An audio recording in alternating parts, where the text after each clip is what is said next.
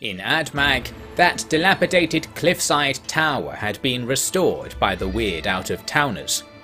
The stone golem looked on from the roof of her barracks, well aware that the mysterious masked Shek was something to do with this new business.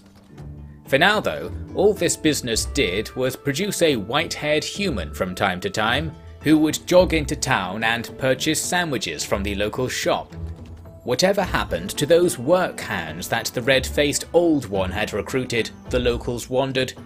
I ain't never seen such a useless bunch of nodes and limbs in my entire life, and I saw the pieces of shit who fucked up this life-forsaken planet in the first place. Rick was shouting at them. Deltas of sweat streaked down their scaly faces. They were all tired of the ceaseless training their new boss was putting them through, but they knew what would happen if they stopped. You get fit, or you get the stick. Rick reminded them for the thousandth time. The stick twirled in his hands, or was his entire hand twirling? When you accidentally volunteered to be conscripted into the Chocolate Legion, you did it because you were the best of the best of the Drunk at Dawn Club, and I'd be remiss if I were to let you out there into the world without a real military education. War is serious shit. It's about getting down and dirty and sucking it up when things get hard. At least according to this ancient picture book. It's also about a showering. It's mostly showering, actually.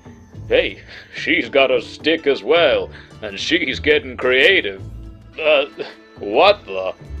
Old man Watson, you ever heard of a reverse kebab? Damn, we gotta get showers invented again. Meanwhile, at Maxand Canyon, That'll do it, Elena said, emerging from under the chocolate processor. You had the gurning jocket on upside down. Surprised it didn't just catch fire like that. Oh, no, that's never happened, Azumi said, eyeing the artistic flower of black soot running up the wall.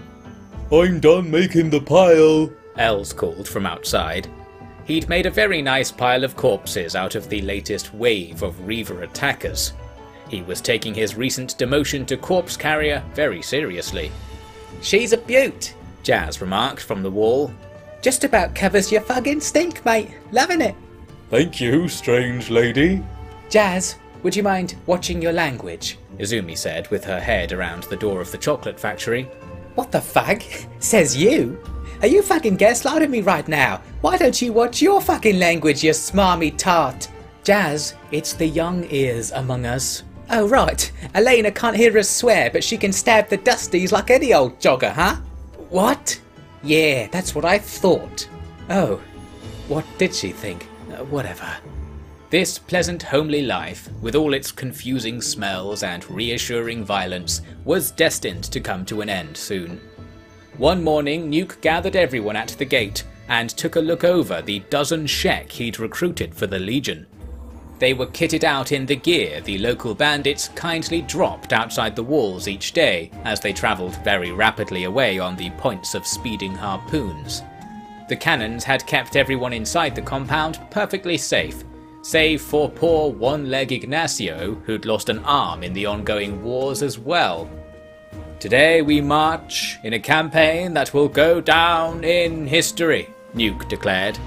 We will fight them on the beaches, we will fight them on the hills and in the swamps, although it really shouldn't come to that, let's be honest. Yes, we will fight those horrible mountain goats to the very end. Nuke was distracted by Azumi whispering something in his ear. Um, I'm being told it's actually skin spiders we're fighting. What? I don't remember that. I don't know, I was blazed when I came up with this whole thing. And so will all of you loyal deserters be when we win, which will be, I don't know, after we walk there. So get hyped for that. Uh, a bottle of premium hydration medium to the first one to kill one of those eight legged freaks. Wait, I'm being told they're not actually spiders. What the fuck are we actually doing here? Oh, whatever. Deploy the troops and let's just see what happens. Onwards! Onward they went, marching to the other side of the known world, which luckily was only about three days away. They used the nighttime recess to dodge the good old apocalypse laser and arrived again at that lonely wasteland bar they'd stopped off at on their initial journey. This was the place where Nuke had gifted the local bandits a free sample of Brown. Seemed like sound marketing at the time. Now, the Chocolate Legion was face to face with the Chocolate Horde. Brown man! Brown man! Gives that jockey! A scruffy vagrant called from outside the bar. First hit's free, second hit's double price. You know the rules, Nuke shouted back. Rules were made to be broken. Yeah? Uh, what if the rule was that you always had to break the rules? Uh, uh, uh, uh, uh, Gives that jockey!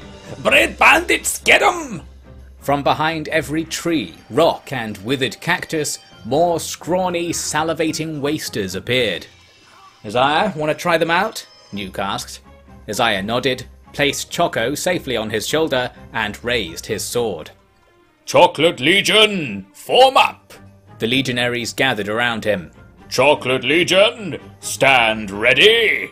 Isaiah called. Each Shek produced a handful of choco bread and held it carefully in front of their mouths. Consume, Brown! At this order, they scoffed it down in a single bite. Suddenly, they were quivering with energy, and rumour has it some of their horns were even wriggling back and forth. By the left, kill everyone! Isaiah ordered, and the battle cry that followed echoed across the wastes like the birthing of a great vengeful deity. The legion was outnumbered two, perhaps three to one, but that meant nothing when the brown mist clouded their eyes and bandits fell like stalks of sweet, sweet cocoa. It was truly a sight to behold. Everyone beheld it so hard they almost missed the fact that a beak thing had come over to see what all the fuss was about and was currently walking off with Gustafsson in its mouth. This was resolved swiftly, bringing the military action to a close. Incredible. We've got this, man, Nuke remarked to Isaiah. I do hope so. There is just one thing I feel is a bit off. Yeah, we need to do like a special pose after each win. No, I was going to say it's the name. I rather think this Chocolate Legion doesn't strike fear into one's heart. Fine, call them Choco Rockers. Whitehorn and the Shek Supremes. The Fantabulous. No, Prince Tashino, I was thinking something a little more traditional. Yeah? Well, what does Shek normally call stuff like this? The soldiers are known as the Hundred Guardians. Each one aims to be a match for 100 foes, like old Kral, you see. Then, my man, I hope you enjoy commanding your new army, the Thousand Guardians. oh, well, that'll do. And so the Chocolate Legion was disbanded, and the Thousand Guardians were born. The Thousand, by the way, was later taken to refer not to their worth in regular soldiers, but the number of calories per mouthful in their secret combat stimulants. After another day and a half of slogging, this army was peering at the towering cliffs of Admag. Isaiah closed his faceplate and took the lead. As the gang clattered through the streets, all were whispering of the mysterious masked Shek. They say he's from a strange land with unclear zoning regulations, one rumour went. They say he's three inches taller in the morning than at night, another claimed. They say that truth is stranger than fiction, but when it comes to Shek, both are just as dull. The force reached the restored tower and reunited with the caretakers within. Red Rick presented his group of recruits to the Thousand Guardians. I worked it out, man. You gotta hit hit 'em just right to activate all those old Enforcer genes. Makes all the fighting we bred into 'em come back clear as the last sober morning, you know. Oh, you don't know? Oh yeah, that's a secret. Uh, uh nope, I don't know where Shek come from, but I'm sure glad they're here now. Enjoy 'em, folks. Jeans? Didn't I read something about jeans? Zumi mused. They're like your two-way leg tubes there, but kinda rough and shitty. That's all there is to it. Uh, not that I remember. There's gotta be a way to turn down the volume on this voice, Rick said. Regrettably, fielding this army had left the guild nearly bankrupt, and so the truth of the matter was out of anyone's price range. It was time to start remedying that situation. Nuke stashed a load of the brown bread in their new depot and gave the rest to Uzziah. Remember, point at the dog and tell them it'll get sad if they don't buy it, Nuke advised. What? She'll get sad? Then that settles it. I'm selling it all right now, Uzziah declared, rushing out to the town. Choco enjoyed the ride on his shoulder, and everyone who witnessed it nodded knowingly, smugly muttering something to the effect of, I knew he had a brown dog. It was beyond their wildest dreams. Within an hour, Uzziah had sold out and the local bars were full of raging brown addicts. Mission accomplished. But the real mission, and indeed the real money, was yet to be handled. That evening, the Grand Expeditionary Force was assembled at the city gate. Nuke and his companions numbered a dozen or so, the Thousand Guardians the same again, and another dozen of Nuke's hired troops bolstered them further. This gathering force had attracted a crowd of onlookers. Isaiah stood on Bobby and Claw's shoulders, with Choco still on his own shoulders, of course, and addressed the locals. People of Admag, I was once told I could never return to this city, the place of my birth. So I wandered far and wide. In the far distant Great Desert, I met this Prince of the Empire, Nuke Tashino, a flatskin. He showed me what it means to live free, and what marvelous things can be achieved when those from all corners cooperate. He gave me the strength to return here, but I do not break the terms of my exile lightly. I am here as the masked Shek for the last time. I will return as the victorious slayer of the Bugmaster, a worthy warrior of this great kingdom, or I will never return again. That I promise. As Uzziah was lowered, the crowd chanted, In the image of Kral he walks, with the honor of Kral he shall die. Uzziah put his head in his hands and gave a long sigh. You okay, man? Nuke asked. Better by the moment, Prince Tashino. Thank you for giving me a day like this. A day I hardly deserve. Man, just wait till we get back with the bug Mulder. We're gonna paint this town white. Uzziah nodded, pulled his sword from the ground, and pointed out at the distant Mountain of Death, glinting orange in the evening light. Thousand Guardians, follow me! He called, and the procession began, watched in austere silence by the townsfolk. They used the oncoming fall of night to safely cross the spider plains under cover of darkness. At midnight, they reached Last Stand, where final preparations were made. And by that I mean they drank the bar dry. This seems kinda serious, Nuke, Prince. Is this really okay? Izumi said. Yeah, sure, we'll do it. Nuke shrugged. What if something happens? Dunno. If you die, you won't need to worry about it, will you? Nuke! Sorry, yeah, I know. But seriously, I'll make it work. I'll keep you out of the mess. You're the one pulling me into this mess, actually. Uh huh. Pulling, or are you just gripping on to me? Nuke, I really hate you, you know. Yeah, yeah. I hate you too. Forget the speaker volume. Gotta find a way to turn off these microphones. Rick remarked. At least they said something. Well, the opposite of what they're meant to be saying. But hey, opposite's pretty close, right? Boolean values better than null. What? Oh yeah, y'all ain't got these binary brains. Don't mind me. Rick went unminded, but meanwhile, Els was attracting attention. A few of the old Shek who had been in the bar before recognized him. Chubba, there he is again. How many times you gonna come up here and run away, traitor? One asked.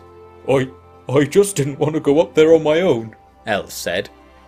My friends are gonna win, and I'm gonna help. If I did that, I'd have beaten you, wouldn't I? Numbers dilute the honor, chubba. And these flatskins here, they soil it entirely, fool. Oh, fug off, Crinkles, Nuke interjected. Numbers and friends were what your bloody Kral didn't have, and he got iced like everyone else. Even if we weren't going to get high as the bloody eye, we'd still win. Haven't you read the classics? Tomodachi, the power of friendship. I might be a flat skin, but if we look out for each other, it'll tip the scales in our favour. Huh? Scales? Like, whatever, uncultured gaijin. This proved to be a great time to set off, so they left that last moat of safety and set foot on the blackened mountainside. Sandor took them via an easier route up the eastern slope, where the hills were long and shallow both up to the crater's edge and down into it. The upward journey was quiet, with not a spider nor a shack in sight. Not that they could see far, with it being the early hours of the morning. It might seem irresponsible, but the plan was to get a full day of light to conduct their grand battle once they reached the Bugmaster's citadel. The fighting would start far earlier than that, though. They walked along the top of the crater to its southwest corner, where Sandor pointed out a quick way up towards the ridge leading to their quarry. To get there, they had to descend towards a red river down a slope patrolled by the skin spiders. With a running charge, they quickly cut a path all the way down to the water's edge. Ah, see, it's easy, Nuke remarked. Should have kept your hooting down. The Bugmaster will know we're coming, Sandor said. Indeed, the sounds of battle had echoed around the crater's many crags and valleys, travelling who knows how far. There was no time to waste. Unfortunately, they had to swim across a stretch of river to get to the foot of the Bugmaster's home ridge. Oh, cannot. I will remain here, Gustafsson said. Why? Come on, Nuke replied. It is the wrong colour. Not this again. Right, up you go. Nuke had Gustafsson sit on his back while he paddled across. Luckily, the Hiver weighed very little, and Nuke was a strong swimmer after his days in Manksand frolicking in the lake just up the Westward Canyon. Oh, there was frolicking all right. I'll tell you about it sometime. Rick was the first to cross, and the only one who didn't swim. He was rather heavy, you see, but waterproof handily enough. Imagine being full of air, the indignity, he commented as he waited for the slow swimming Shek to gradually struggle to the western bank. From said bank it was a short climb up to that loamy ridge, which in turn led right to the Bugmaster's gates. Strangely, all was quiet. The citadel and the route up to it looked completely deserted. The only sign of life was a twitching Second Empire iron spider, which had clearly been recently thrashed to pieces by its modern biological counterparts. My prince, don't you think this is a little suspicious? Wodgton said. Yes, my man. Is this even the right place? Nuke replied. Sandor pointed up at the citadel, which had the word bugs painted on the side in blood. For such a short word, it was stunning how poorly it had been spelled. They're not even bugs, Izumi huffed. We might have caught him napping.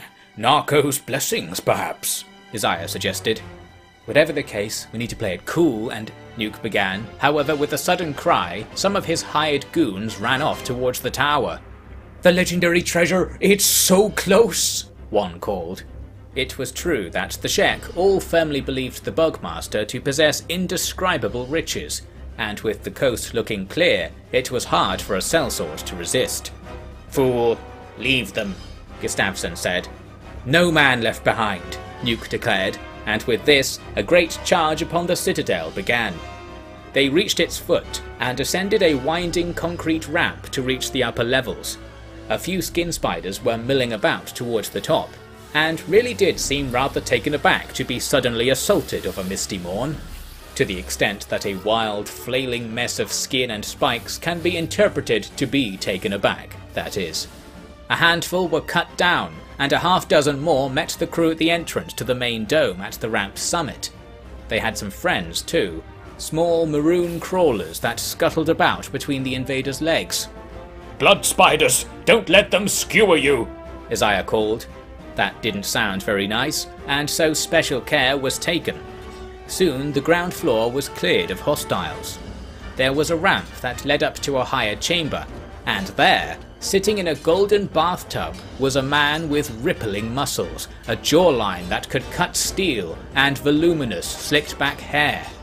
The crew gathered around him, but he paid them no attention. Everyone wanted to say something about the fact that the bath was filled not with water, but with human teeth. But you know, in the moment, the right reaction to that just didn't spring to mind. Uh, excuse me, is the Bugmaster in? Nuke eventually asked him. Yup. I don't do flat skins, though, the man replied. Oh, well, would you mind if we killed you? Ah, no, sorry, I've got things to do, ain't I?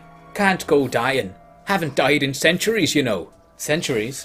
You look, uh... Ah, it's the teeth. Teeth is the thing, eh? Oi! Where's the treasure? One of the sellswords shouted. The Bugmaster stood, teeth chattering down his body.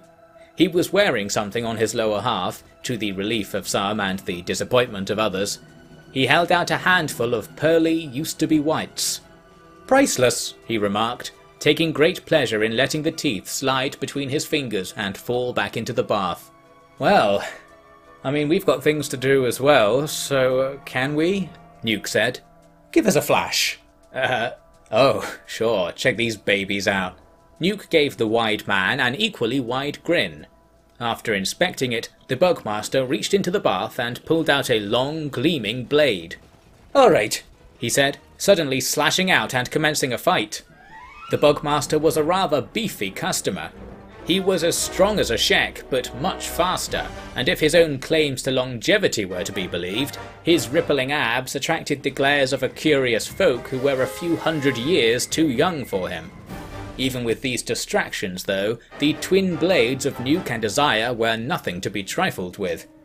Everyone else who approached was smashed away, but these two held their ground, parrying and feinting, ducking and sweeping, stabbing and cutting with everything they had. Cheered on by the rest, their energy was unending, while the Bugmaster gradually slowed. Finally, the point of Nuke's sword crossed the Bugmaster's chest. As the Hulk stumbled, Isaiah body slammed his back and floored the giant, at which point everyone was on him like a swarm of actual bugs, tying him up like actual spiders. It was done. Or was it? In the madness of the fight, a ring had slipped from the Bugmaster's finger. Afterwards, as everyone looked around the strangely empty citadel, Rick had stepped on it. Oh, did I drop this? Looks like it fits in here, he said, slotting the ring into a perfectly sized gap in his arm. It hummed and span around a moment, then a little door slid closed over it. There was a spine crawling series of rattly shrieks coming from far and wide outside. What the fuck was that? Izumi said. Oh, probably nothing, Rick explained. Ain't gonna be anything to do with the mind control device. I mean, how would I even be able to control them if I wasn't there when we. Oh, wait. Uh, in fact, I think I'll roll this back to my earlier assessment. It's probably nothing. Everyone get your weapons ready and stuff, uh, but it's nothing. Yep. Knew I should have downloaded the manual for this shit. It wasn't clear what Rick meant, of course, but we now know that the long and short of it was it was going to be much harder to get out of the Bugmaster's lair than into it. The real battle was about to begin. One by one, Gustafsson picked the teeth out of the golden bath and popped them into his mouth. It has the crunch, he reported to Wren, who also came over for a snack. Gary dipped his head in and trawled out a great pool of teeth, shattering them with huge bites, sending a wave of wince through the rest of the guild. They were already on edge, having just heard a strange shrieking sound echo across the mountain. Nothing to worry about. Coming in hot at seven o'clock. Rick called from the window. Nuke had just finished hoisting the squirming Bugmaster onto his shoulder. We've got the goods. Grab a handful of teeth for the road and let's roll, the prince ordered. But it was not going to be so easy. Not only was Gary hogging all the teeth to himself, but the ramp exiting the citadel was crawling with a fresh wave of skin spiders. Thousand Guardians, time to surpass even Kral. We'll fight our way out and claim victory! Isaiah shouted, leading his troops into the mess of sharp, muscly legs and waving stomach arms. Nuke's goons fought at their side, and a path out of the citadel was opened up. After fighting in and out, many of the combatants were wounded, which slowed their escape dramatically. My prince, since you are able, you should go on ahead, Waddesdon said. We cannot let their injuries put you in danger. Who do you think I am, Kral? Nuke retorted. This isn't about me, it's about the Tomodaiki. No man left behind. Future girl, time to work your magic, my friend. Who is a girl? Azumi had prepared splints for just such a case as this, but after patching the army up as best she could, they were still crawling back east along the ridge. Isaiah suggested they solve it the Shek way. The Thousand Guardians applied some acceleratory dragging to any who lagged behind, and finally the group got out of the secret castle's shadow. They reached the edge of the ridge, but more skin spiders were climbing up the cliffs towards them. Some had thought they were all heading to the citadel to avenge their master, but actually they were zeroing in on the guild. More specifically, on one member of the guild. Even more specifically, on one piece of one limb of one member of the guild. Rick, being very kind-hearted for a being with no heart, tried to open the little door on his arm behind which he'd stashed the Bugmaster's mysterious ring, but it was locked up tight. Well, he tried, and there was nothing else he could do, least of all tell everyone what was actually happening. They finally made it off the ridge, but by now the sun had disappeared below the jagged horizon. Nuke did a quick roll call before they went down the hill and back to that red river, but one of his hired hands was missing, no man left behind, Nuke demanded. Ain't a man, he's a skeleton, Sandor said. Damn, you should have seen what happened last time humans started talking shit like that, Rick commented. He and Nuke found the injured skeleton some ways back, and pulled spare parts from Gary's bag to shore up his leaking tubes and sparking fibers. By now it was pitch black, and the rest of the guild nervously stood around the two surgeons. The sky was completely covered in rain clouds. The only light was from their own lanterns, but the darkness was so maddeningly thick that the orange flickering stretched only a few meek meters in any direction. The sound of rain on rock was easily mistaken for a horde of skin spider feet padding towards them. It was a tad miserable, suffice to say, and that's just for those who weren't trying their hardest to hold their blood in. Finally, the downed bot fizzled back to life, Oh, c'est la vie. Oh, wait, ah, there it is, he said, suddenly jumping to his feet as if there wasn't a big claw hole going front to back through his chest, and indeed as if there wasn't a pair of pairs of hands fiddling away inside the hole. It was much less exciting than it sounds, I assure you. They finally got back on track, but then Gustafsson caught a whiff on the wind, and they all hit the dirt a gang of skin spiders came up the track they were about to go down and started feeling around in the darkness. You could hear them scritching at the rocks and occasionally making a faint raspy sound to one another. Both of the hivers seemed to recoil when they heard it and whispered to each other about it in private. They do feel the connection. They are not running, Gustafsson was heard saying, prompting a disappointed sigh from Wren. Whatever that was about, the good news was that the skin spidery sounds faded away for a while, and the gang managed to scramble down the cliffs towards the river. There were a couple of spiders patrolling the bank, but they were quickly dispatched. Alright, you've done it before, now do it again, Nuke said. Into the water they went. The previous time there was daylight, and they weren't carrying wounded soldiers on their backs, and last time there weren't any skin spiders honing in on their secret signal. At least they can't swim, Azumi commented. Red Rick emerged on the opposite bank. They can breathe underwater, though. Not saying I saw anything down there, but, uh... Well, the truth became extremely clear extremely quickly.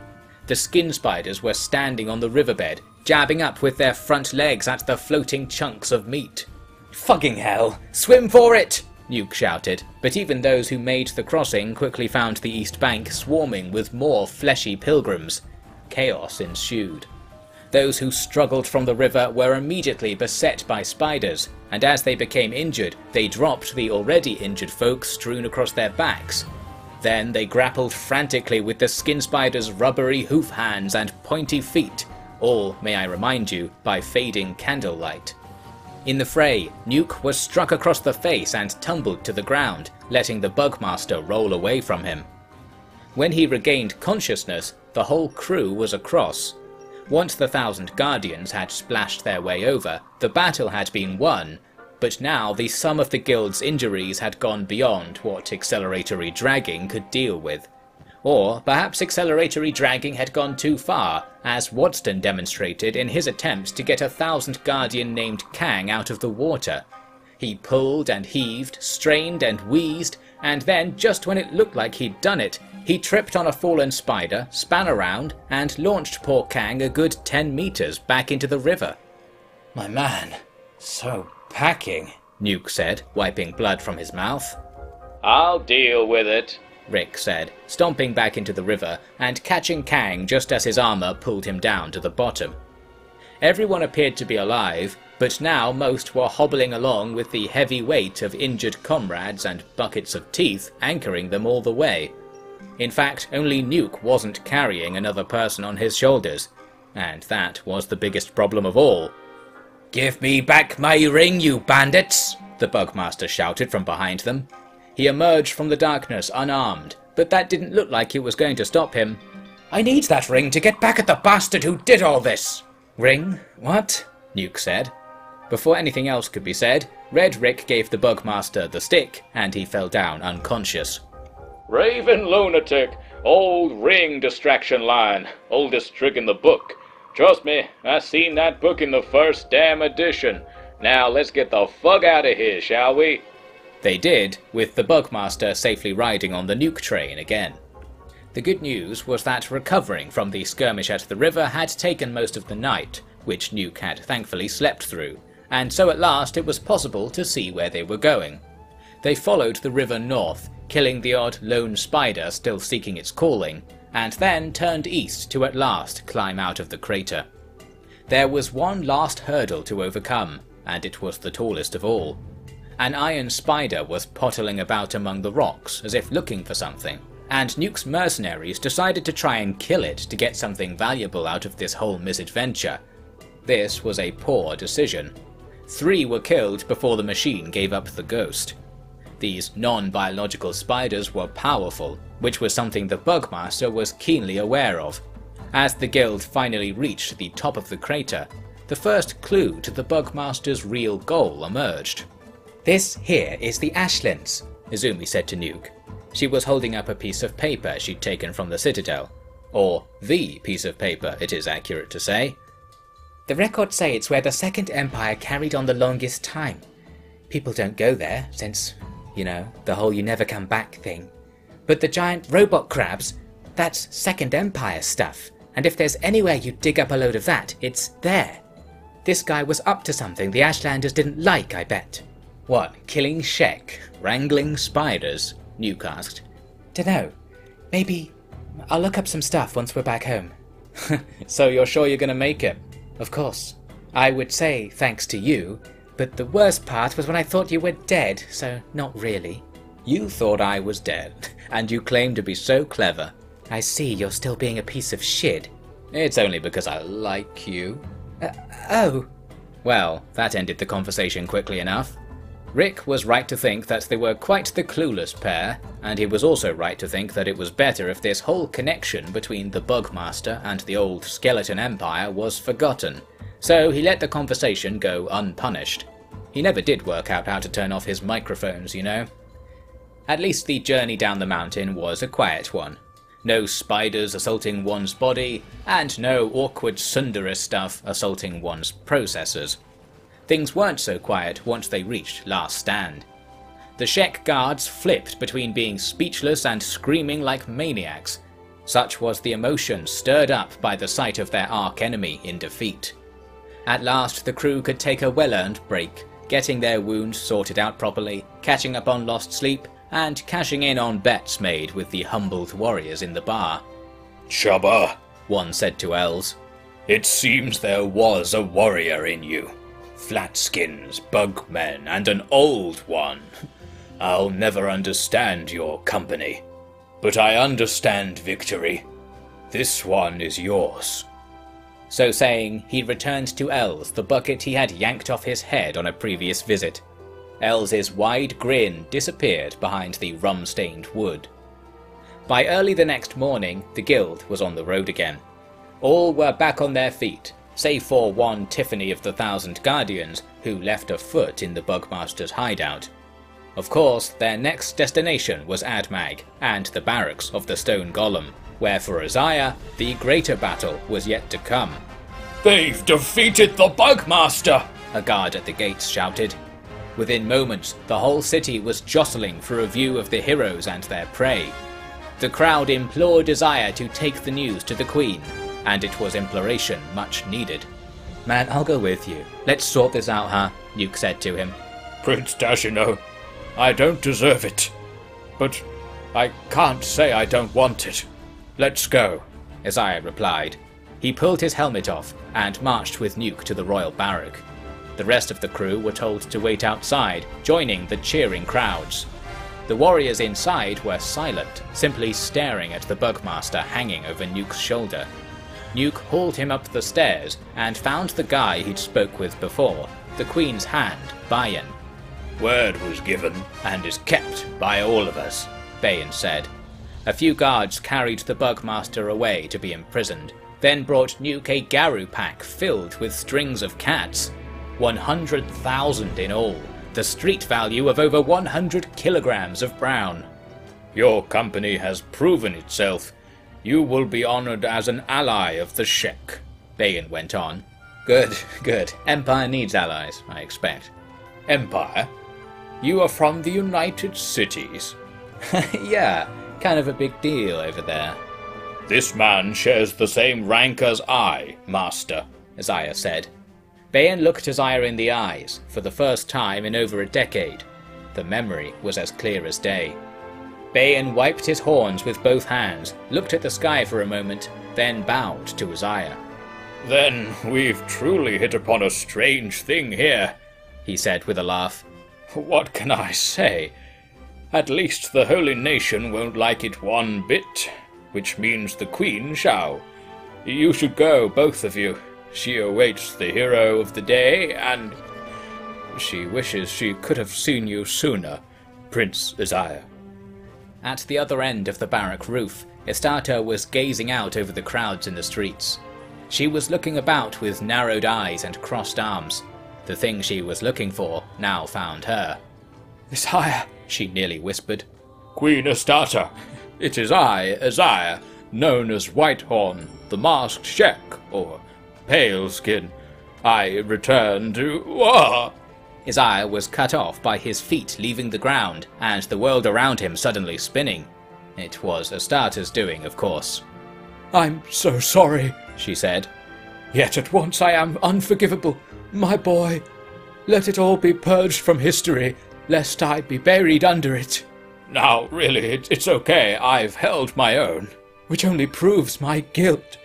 As I, Flying Bull, what good is an excuse?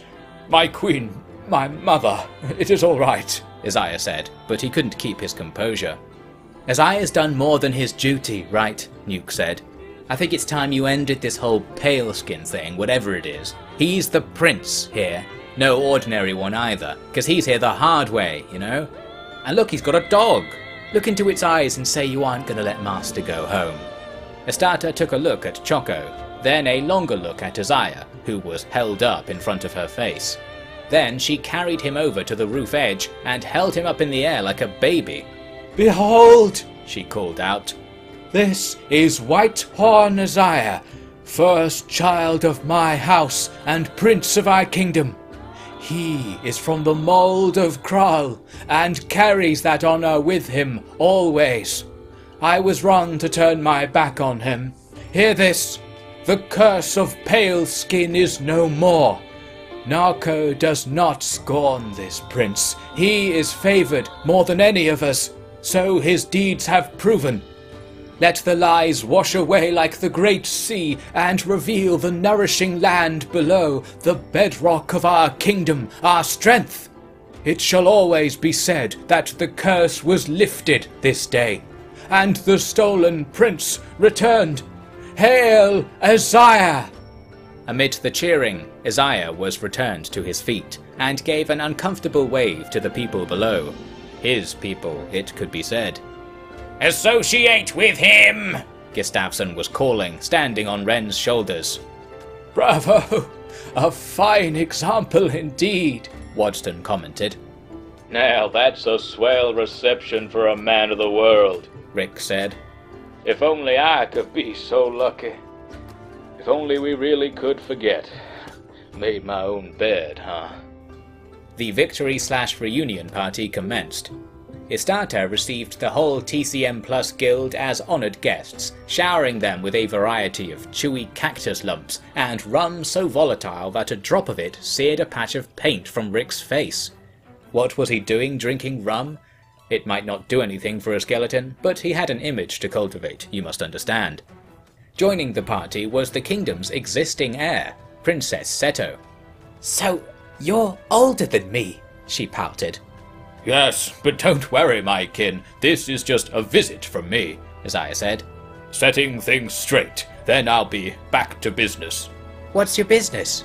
Oh, you know, corpse carrying, map reading, adventuring, really. With those outsiders? Yes, yes. Only recently, but more's the shame. What a time we're having. You don't. Is it really better out there? Better? Depends on how you look at it. Uh, for you, kin, I would say you'd best keep up with your reading and weights. No place for a toddler. But it's something else, this world. The kingdom's just the start of it. And the Shek, too. Just smoke from the mountain. I'll show it all to you one day, I promise. So, you'll come back? Of course. I didn't grind my teeth down over this whole affair for just the single visit. I intend to be a fully fledged prince of the kingdom, but a prince in the fashion of one Nuke Tashino, a prince of the kingdom and beyond it. After all, that's where we need to be to get this planet back on track. I don't know what you're talking about. You'll find out once you're old enough to help him, Esata said. Mother, I I think Seto should remain with you. Nonsense. My children are going to make the world a better place. I've listened to your Empire friend. Sounds like you're a cut above the usual crew. Except, I don't really understand this brown bread thing. Oh, it's. Well, just don't eat it, no matter what anyone says, alright? Royal treasury's empty enough with that bounty, eh? It's not really honest work, but it's one step at a time, the path to righteousness, you know? Overall, we have something resembling a happy ending here. That's one exiled prince unexiled. Just nuke to go. Well, Gustafsson is kind of a prince, or he was, or something, so maybe two to go, if he wants. And what was Red Rick muttering earlier? Well, the more immediate concern was finding a shop that sold spare legs and going back to the drawing board on Nuke's sidelined mission to get a decent flow of drugs into his dad's house. As it just so happens, their exit from the Shek Kingdom quickly revealed the solutions to both. On the roof of Admag's royal barracks, the TCM Plus Guild bid their goodbyes to Queen Esata of the Shek Kingdom. After a decent bug-busted celebration do, it was time for the busy business folk to buzz. But two guests in particular did not join the procession out into the street. They hadn't said a word for the whole thing, or in fact, as long as Nuke and Company had known them. I speak of Bobby and Claw, as Isaiah's guards. They waited on either side of the barrack gate, and as Esata passed them, she stopped also. I knew this was your doing, she said with a smile. The pair said nothing. You are more than any invincible has ever been. You kept your vow. So, please, be released from it, worthy ones. Thank you, Claw said. Wait, said? What's all this? The rest of the gang didn't know anything about all of this, so I'm really being very cheeky even letting you know this much already. Bobby and Claw stayed with Isaiah, loyal bodyguards as ever, and as a result, Esata felt only a trifling sorrow to wave her son off down the mountain. Her invincibles would not fail to return him in one piece. Where was the guild going? They were one leg short of full complement and had a recommendation for a discount limb joint just to the north, Hiver territory. The place was one of a number of fragrant pulpy pods perched alongside the Vane River. Similar villages ran up and down the river, and together formed the Great Western Hive, which was of course orders of magnitude less great ever since Gustafsson had bid them farewell. The discount leg store had a wide selection of old lengths of metal tube welded onto ancient tin cans, and if that isn't a discount leg, what is? While Tiffany tried to walk with the extra point 0.2 of a leg she'd been given, Nuke shopped around for a little of the good stuff. Brown was the wrong colour, as any good hiver would tell you. I need green, but like a huge amount, Nuke explained to a trader a gargantuan amount, an amount fit for an emperor, an emperor who's really in deep with the whole scene, you know? You have described the amount you need too many times. Please rephrase, the Hiver said. I need lots of hashish, like more than a bucket. Humans cannot consume that quantity of hashish. It has an accumulative toxic effect. I know, I know. Look, where do you get hashish from? I grow hemp in my latrine. I mix hashish in my other latrine. It is from the latrines. Holy shit. Brown, green? By Okran's clippings, I didn't need to hear that. Look, you mad bugger. First, I'd like to say that your sales technique needs improvement. And second, I know that this shit grows in stuff other than shit, so where the shit's the shit, shit for brains? Excuse me, Gustafsson interrupted. The former prince came over and touched the trader on the shoulder. You will perish there. Good, the trader said. Prince Tashino, he knows. The Great Swamp. It is the place most similar to his latrine. That is the habitat for the plant. Come. Cool. Thanks, man, Nuke said, following Gustafsson out. I mean, are you guys like magic or something? From one hiveless one to another. How could you hope to understand? I don't know. Can you erase memories? Sure, do it all the time. Forgot it all, Rick said. He was being massaged by a harem of hivers, his eyes flashing erratically. We're going, Coinslot. Well, if you're going, then I'm coming. Oh, I'm too much, really, I am. He really was. Following the Hiver intel, they marched back to Admag, then to Squin, and finally entered one of the many canyons of the border zone. There was a certain canyon which every Shek knew one should never follow, for it led to somewhere quite foul. There it is, the swamp, Isaiah reported. They were walking along a track in that very forbidden canyon. Ahead there was a sudden onset of fog, and strange, shadowy tendrils stuck up from the ground, arcing this way and that.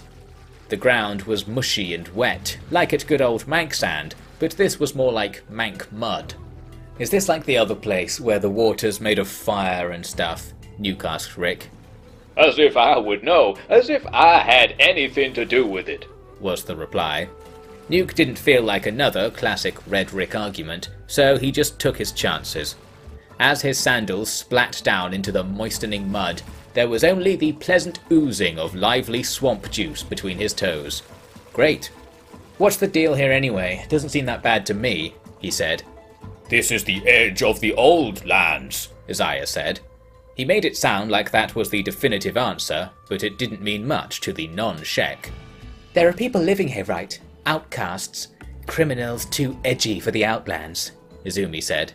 I too have heard tales of the swamps, Wadston said. Dangerous beasts, murderous gangs, labyrinthine trails scattered with quick mud, sinkholes, and my prince Nuke had already strode on ahead. The perfect place to hide your green from the samurai, he proclaimed. He was absolutely right, by the way, but even a stopped clock gets a few calls close to the mark now and again. There were trails through the thick, smelly undergrowth that the crew could follow deeper into the moist maze. Tall trees grew up from the waterlogged earth and covered the sky with a misty canopy. Deep pools of water were dotted all about, with eerie spiky shapes stalking below the surface. It was more lively than the deserts, one supposes, but far less inviting for it. No crabs though, so that's something. After a sticky march through two hours of continuous drizzle and fear, the crew crossed a dry hill, then descended into a small ring-fenced village. There really were people living in this dingy swamp, and oh how they were living. Drugs and fish! Get your drugs and fish! A seller called to the group from their little market shack. Fug, you serious? Nuke said, rushing over. No laughing matter, drugs and fish. Aye, you can have a little fun with one, and a lot of fun with the other, but I'm a professional, I'll have you know. Now then, I will stuff these three fish with grass and put them down your trousers for ya, if you let me have a little peek while I'm there. Uh, you don't take money around here? Oh, sorry, sir, you're from the Skylands, are you? Ah, money it is then, sir. Didn't realize you had such sophisticated taste, sir. I love your hair, sir. Fish full of grass, sir. It'd be cheap half the price, I tell you, and I haven't even thought of the price yet, so you know I'm being honest, sir. Nuke was sold, and very quickly the vendor was sold out. It wasn't enough for his imperial needs, but it was served creatively, and that's the sign of a true greengrocer. There's another one, another one! Nuke excitedly reported to the guild. Yes, he had been tipped off that just down the road was another well-stocked village, and by road I mean 3 inch width of mud in between lakes of man-eating critters, and by village I mean a series of large buckets filled with humans suffering from a certain accumulative toxic effect. It was a wonderful day out down the shops, all in all, however some local ruffians seemed set on spoiling it. Beside a mercifully wider part of the road, a gang of soaked swordsmen burst from a nearby pool. Come to the wrong swamp, City Slicker, one called out. Is there another swamp you'd recommend? Nuke replied. Uh, yeah, there's a spot over on t'other side. Oh, wait, they always gets me with their words, they do. Die and give me your money, you tourist! I'm a highly respected businessman, Nuke said, killing his conversation partner with a clean katana swipe. The attacker's mates didn't do much better. Clearly people came by often enough for there to be a living to be made as a highwayman. Soon they found out why. They went from one kind of tourist trap to another as they arrived in the beautiful resort of Mudtown. I can hear the jangle, a hiver shouted as they entered the glamorous ring of huts and scrap. Jangle must gamble! Jangle must gamble! Jangle must gamble! Nuke echoed, going over to the Hiver's big tin casino, sat on stilts above a stagnant grey pond. You know how to play, the dealer said at the main table. He was a dealer of one thing or another anyway. Sure. Would you rather have no legs but trees for arms, or no arms but trees for legs? Nuke said. Nonsense! Either option is ideal. Speak not. Gamble your jangle at once, the dealer demanded. He was pointing at a set of beetles in a box beside him. Will there be roll, or will there be clack? Let's roll with it. What? You're so uncool. Roll! Hit me with a roll! He bets for roll! The dealer shouted. The other patrons of the den, who were mostly hivers also, all conferred privately on this fateful decision. Now let the chance dance begin! He pointed again at the beetles. The beetles seemed to understand their job, and began walking around in a circle, one behind the other. Then the dealer reached under the table and produced a cut-out piece of an ancient picture book. He placed it in the middle of the bug circle and declared, Waifu roll, trash clack, bug truth, snap! The beetles turned to look at the buxom humanoid feline pictured on the cutout and then began to make ticking sounds and walk backwards in a shaky, overdone fashion. Nay, nay, it is trash! Clack, clack, clack! The dealer announced, sweeping coins from Nuke's hand with well practiced dexterity. Fug, I. Did I lose? Nuke said. Rick appeared beside him. Let me try something, he said. I'll put two stacks on a roll right now. The dealer reset the table and produced the next sample picture. It looked a bit like a crab, only with long flowing hair, complete with plaits and a bow. The beetles carefully scrutinized the piece. Then, as Rick was seen scratching his arm, The beetles jumped onto their backs and rolled from side to side, waving a leg in the air. Rolling whip, this is the ship. The truth is revealed and the gentleman wins, the dealer said. How about that?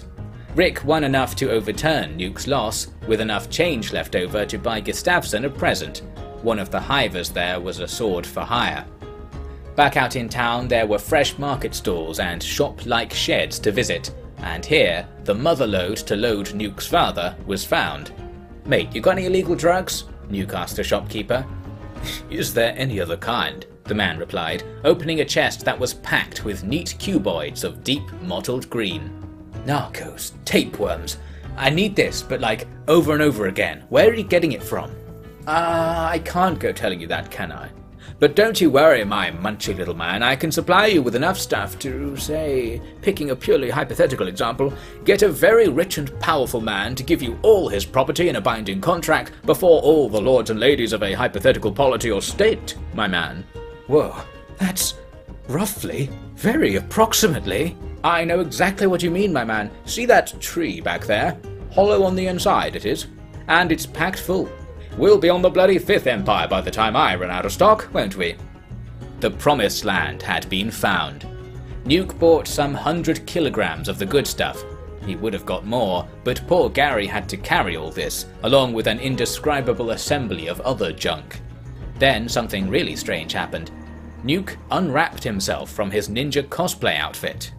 Huh, he stopped being invisible all of a sudden, Isaiah commented. Yes, my man, I am no longer going to hide anything. I am a drug dealer, and I'm proud of it, Nuke announced. I bring happiness, addiction, and the spirit of justice. Low prices for the low, high prices for the high, and I assure you, the high will pay anything. The Nuke Tashino International Green Team Power Pipeline is founded. Cheers all round, I expect.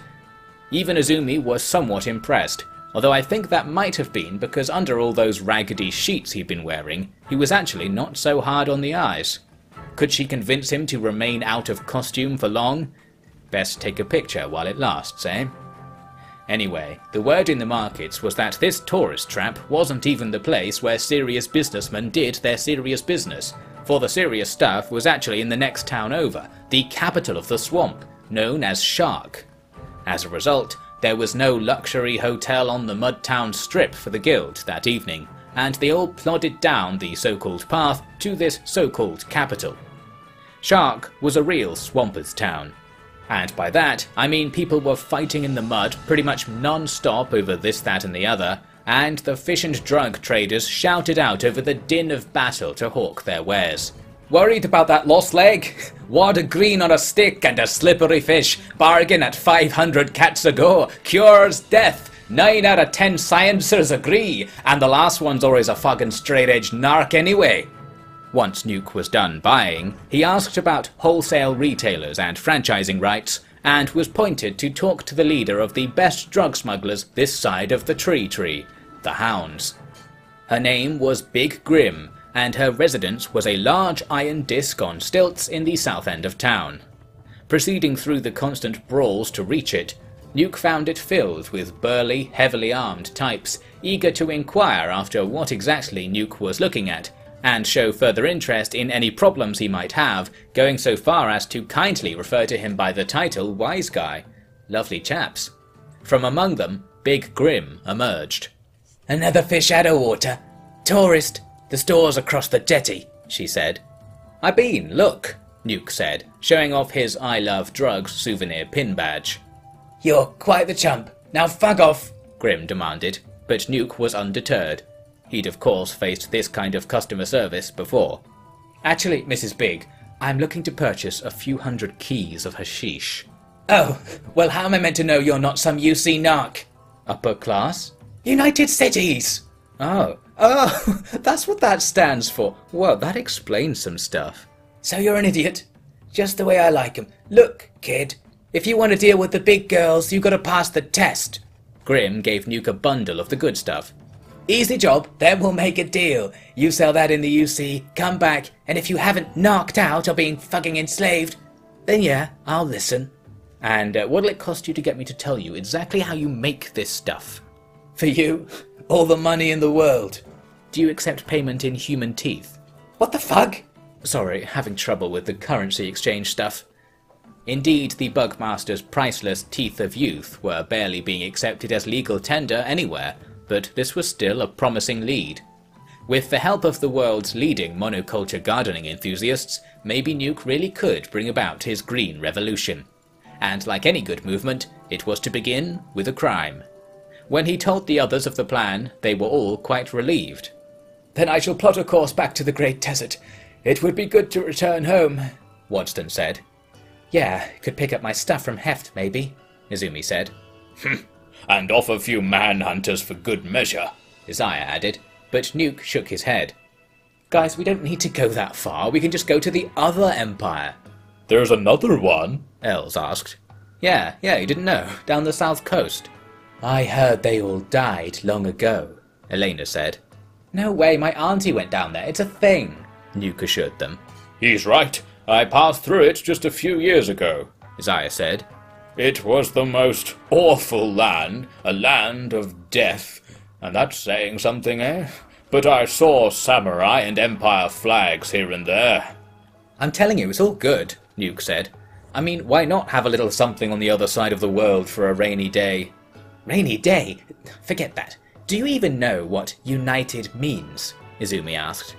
Sure, means they hate other people a little bit more than they hate each other. Then there is hope for a human Shek alliance yet, Isaiah remarked. So yes, the group set off, even though it was still dark, heading south towards this rumoured other United Cities empire. Fortunately, the southern side of the swamp was a little more civilized than the north. The gangs kept the trails in better condition, probably to maintain good smuggling routes into this very same southern empire. The geography was more favourable too. While in the north the swamp was bordered with thick undergrowth and steep cliffs, the south edge petered out gradually into a friendlier course of wetlands and freshwater lakes. Small plants and heathers flourished, growing around piles of old bones and poisonous fungi. The dominant species here was something rather special. Thousand Guardians, assemble! Isaiah called when he spotted it. Everyone rushed up to him, weapons drawn, but ahead of them was a convoy of plodding swamp turtles. Thousand Guardians, by the left, appreciate the majesty of nature. The squad followed their orders. The turtles, by the way, were about 20 feet tall, standing on four huge legs, with perhaps 10 feet of multicoloured shell on top. They paid the guild no heed as they wandered by. Well, that's new, Rick said. Did you see them before, Isaiah? Izumi asked. Indeed. However, oh, it's too. The swamp ninja operate here, hunting the poor creatures. Slavers, too, if there's no one to pick up on their rounds. I wonder how long it will be until they are all gone. Fucking hell, Nuke muttered. People just can't leave shit alone. They gotta eat, Sandor said. Then let them eat choco bread, Nuke declared. They carried on a little ways, and sure enough, just behind the turtle flock, there was a band of ninjas stalking them, clad in green with their faces masked. Fucking eat choco bread, Nuke shouted at them.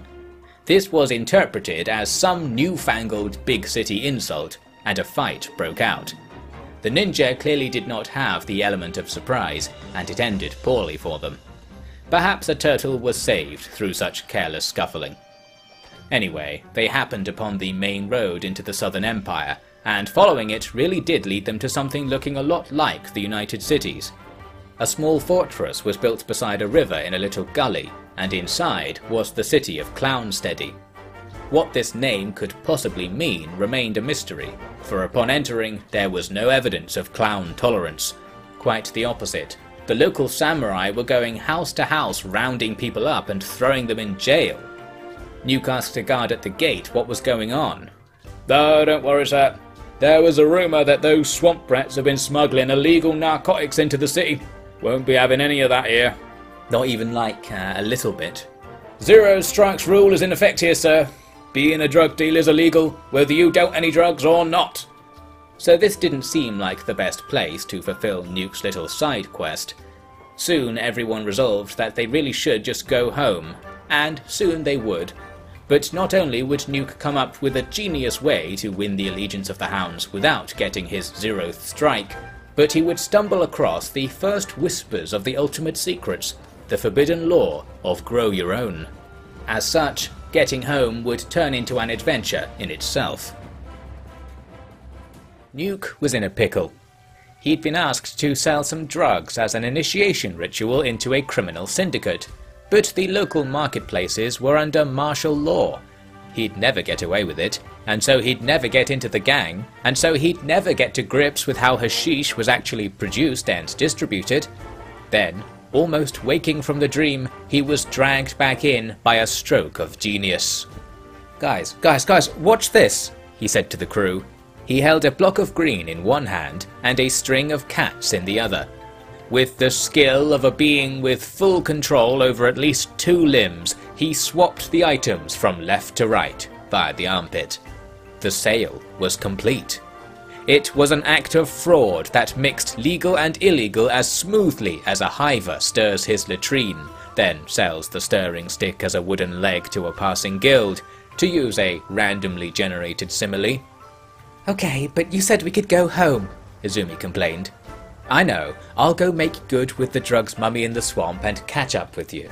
I'll be back before Charlie even realizes what I did with the switcheroo back there.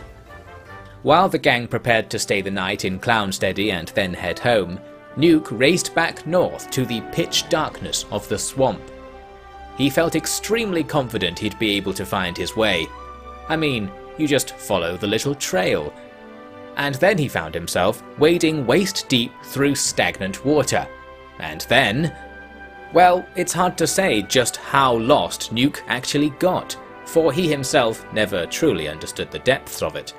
Suffice to say, at one point he found himself falling into a series of underground smugglers' tunnels and began randomly selecting which direction to take at each fork. He bought it off himself, Els realised back in Clownsteady, with no sign of his master's return. Nuke found a bit of tunnel that sloped upwards and used it to return to the surface. When he emerged, he was inside a building made of concrete and filled with industrial machinery. Bright ceiling lights flickered on as he entered, and it didn't smell of rotting flesh as much as your average swampland rain shelter. This was an old Second Empire lab, and as Nuke rummaged around a little, he uncovered assorted documents in vacuum sealed boxes. While there are certainly more books, mangas, digital videos, images, and other computerized cultural contraband, the discourse of modern academia is almost entirely free of the Earth Clan scourge, he read on one prominent sheet. He gathered up similar reports, studies, and verbose fragments of old science for a certain special someone who probably would be very interested in this little stroke of luck. Most lucky of all was a map of the local area, as of about 2,000 years prior. It showed the little rocky hills that Shark was nestled in, albeit labelled as Pillow Down Memorial Cemetery. Thus Nuke stumbled into the swamper capital by morning's light. The orange dawn sun washed the darkness away and cast long dancing shadows from the hordes of drunk high locals punching wildly at each other and slash or some unwelcome figments of their imagination. Mummy, I'm home, Nuke declared in the Hound's HQ. A load of the gangsters were woken up by this announcement and weren't entirely happy about it. However, the idea of actually speaking to a perky cringe lord that early in the morning wasn't that appealing. After much waiting, Big Grim finally came out and snatched up the strings of cats from Nuke's outstretched hands. Well, looks like you passed the test. Guess you're in the gang, Grim said, but the other gangsters were shaking their heads and swiping across their necks. But you should probably fag off, alright? Come back tonight or something. No time. Got these reports on, like, the historical consensus on parasitic degeneracy in humans. I don't know, stuff. Need to go give it to my friend, who is a girl.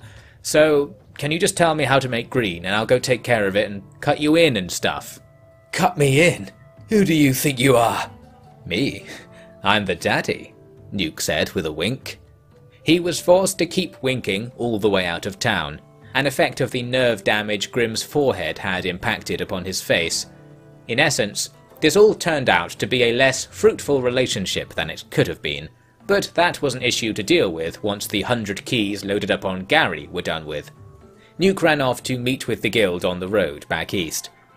The guild had set off that morning and were currently negotiating with the local ninja and blood spiders about the relevant toll category for their party.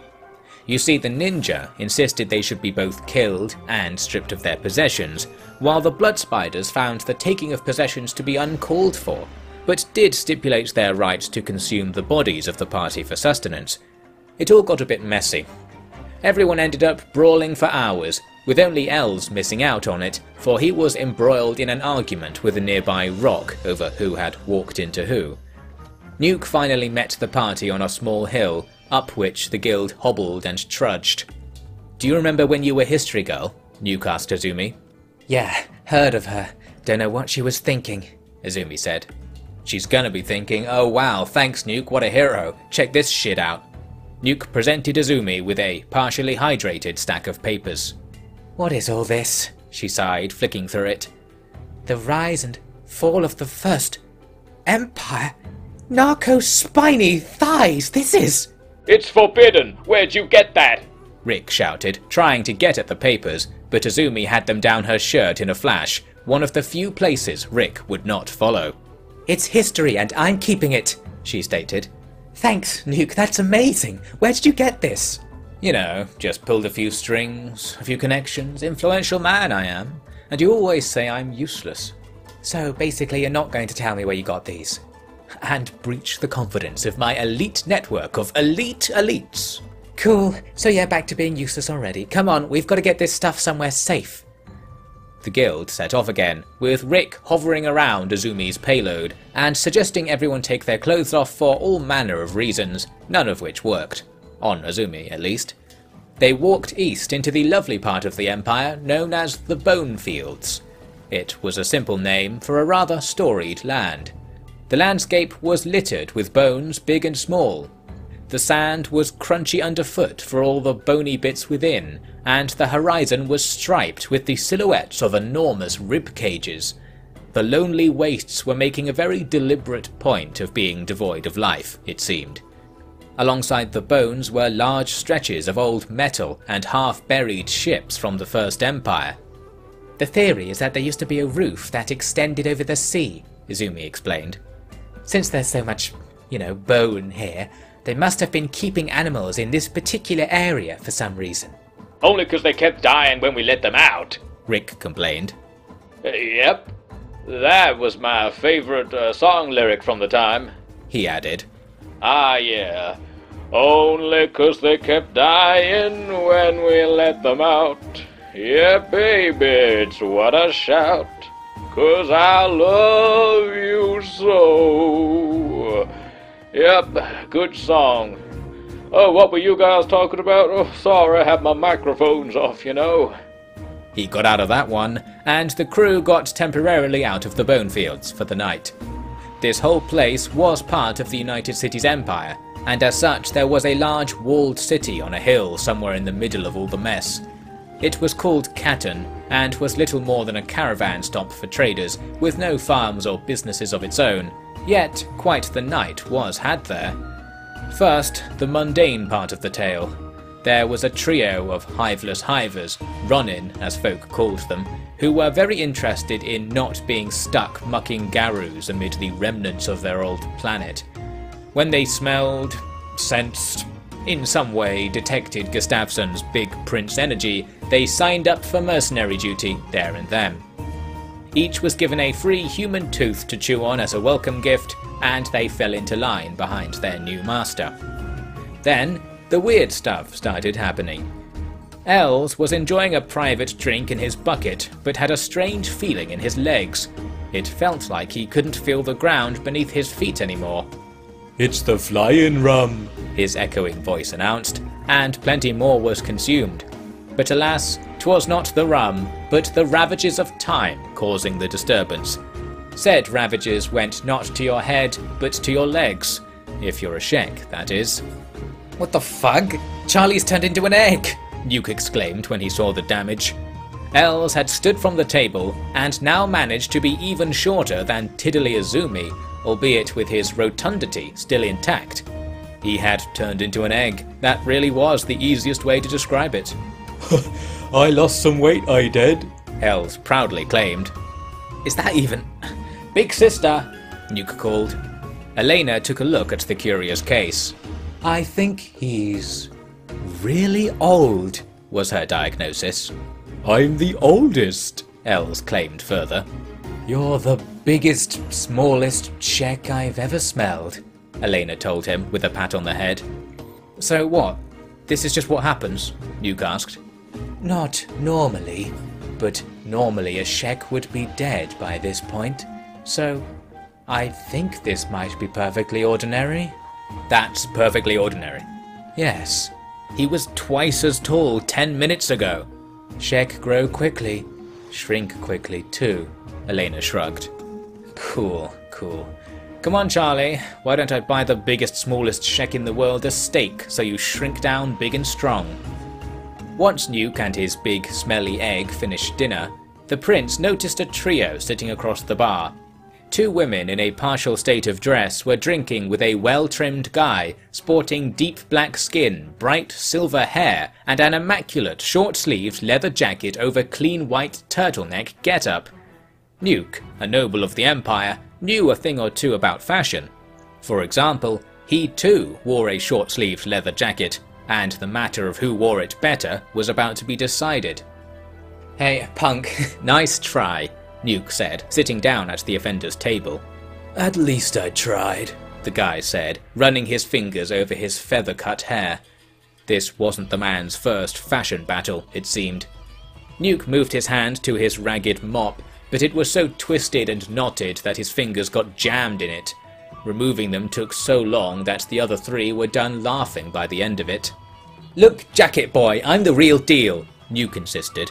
I wear this jacket while I'm out there walking the wastes, killing weird teeth dudes, making cats by the stack, and never looking back. I'm legit. You, man, are what we in the imperial nobility call a poser. I don't need this from you, Dreg. You ain't ever done shit, the guy complained. Yeah? Don't have to pay girls to hang out with me. Well, technically I do. Eh. Speaking of that, you're due, buddy, one of the girls said to the poser. The poser's hair started to become ingreased with sweat. I don't. That's not. Look, Dreg, you got money? Yeah, and a load of old teeth, Nuke said.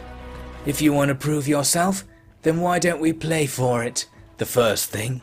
Sure, I bet everything I have against everything you have that I'm just generally better at stuff than you, and if you lose, you can never wear a leather jacket again. Deal. You ever played wacky backgammon before? Who do you think I am? Of course I've played wacky backgammon before. Nuke had never played wacky backgammon before. However, he was very drunk. Now it would take several volumes to explain the rules of wacky backgammon, and so the details of this epic match would be entirely lost on you, I'm afraid. All I can relay here is that being drunk gives one a distinct advantage in this curious game, and so by the end of it, the poser had lost everything, and of Nuke, the two girls had seen everything. That's really all I can tell you. In the winnings came the poser's contracts with the girls, who turned out to be strangely dressed bodyguards, which explained their thick arms and bruised knuckles rather nicely too. They were Foreign and Shamika, and now they were Nukes, in as far as now Nuke had to pay them. Luckily, Nuke quickly thought of a use for the buxom babes. Izumi came into the bar, somewhat intoxicated already from the rest of the guild's campfire antics outside. She was looking for Nuke, of course, and of course she found him. He was walking right towards her, with nearly topless Foreign and Shamika to both sides. You can surely understand that this stirred Izumi up quite a bit, but Nuke went on with the introductions anyway. Future Girl, these are my newest employees. They're like you, he said. Great start. What? Nuke, you. What the fuck are you. I'll do what you want, Izumi said. She turned to leave, but Nuke had a perfectly good excuse. No, they're for you. For me? What did Rick. I don't. Nuke, you really. I thought you'd feel safer with them. Safer? You know, like as guards. Since I keep getting you into trouble and stuff. You can have these two as your guards, and you won't have to deal with any gorilla shit you get from, like, you know, guys. And they don't smell that much, and they aren't popping human teeth and whispering with mind magic and stuff. So it's a present. I'm paying. Perhaps Nuke really was being a nice guy here, but Izumi was so off balance the other way that she didn't fully appreciate it, suffice to say. We'll keep you safe. Best in the biz, Foreign said. And even if this chump's paying us, don't think twice about asking us to take him out, you know. Yeah, say that again, Shamika added. At least it's finally a woman client. Got any thoughts on uniforms, miss? Sure, sure, I will do. I, uh. Wait, are you. Shamika said, looking between Izumi and Nuke. Izumi ran off before further questions were raised. Go on then, go guard her, Nuke said to the pair. Sure, first things first, Foreign said, before promptly kicking Nuke in such a way that he spent the night on the floor of the bar. Whether this new development would help with the whole situation, if that's the right term for it, was yet to be seen. In the morning, in varying states of sobriety and health, the guild set out north. They followed the caravan routes into the part of the bone fields where the balance of bone and field started to favour the latter, the edge of the southern United Cities empire. There they stopped in a slow town called Morn, formerly of the empire but now left to squatters. It was surrounded by First and Second Empire ruins, plus its own share of bones, giving it a nice deathly atmosphere with a less oppressive feel than Catun. Good place to grab a snack and watch beak things kill passers-by. In a store there, Nuke bought a map of the area, which Izumi examined closely. There, it's here! I knew it! she eventually said. Anything good? Nuke asked. The tech scribes. Like tech hunters but without the hunting. They're the world experts on decoding ancient data. Perfect place for, you know. She was nodding down towards her chest. It wasn't the clearest way of getting it across, but she was of course talking about the Second Empire goodies stowed within. It took Nuke a while to realise this, but analysing the exact contours of the communication was time well spent at least. He saw something else of interest in town also. While everyone wandered about the depressing shops, he noticed that none of the locals were going anywhere near a big Second Empire style hall that overlooked the whole area. Naturally, he was up there in a flash. For some strange reason, the gate to get in was locked tight, chained to the ground and gateway, and smeared with messages to the effect that one should not traverse it. Naturally, the locks were broken with a smash. Inside, there was loads of old furniture and military gear, but it was strewn about the place and battered beyond use. Nothing good to steal at all, but Nuke thought he might as well check upstairs. Peering over the edge of the ramp that wound up the outside of the building, he saw that the top floor had a resident. A very peculiar resident.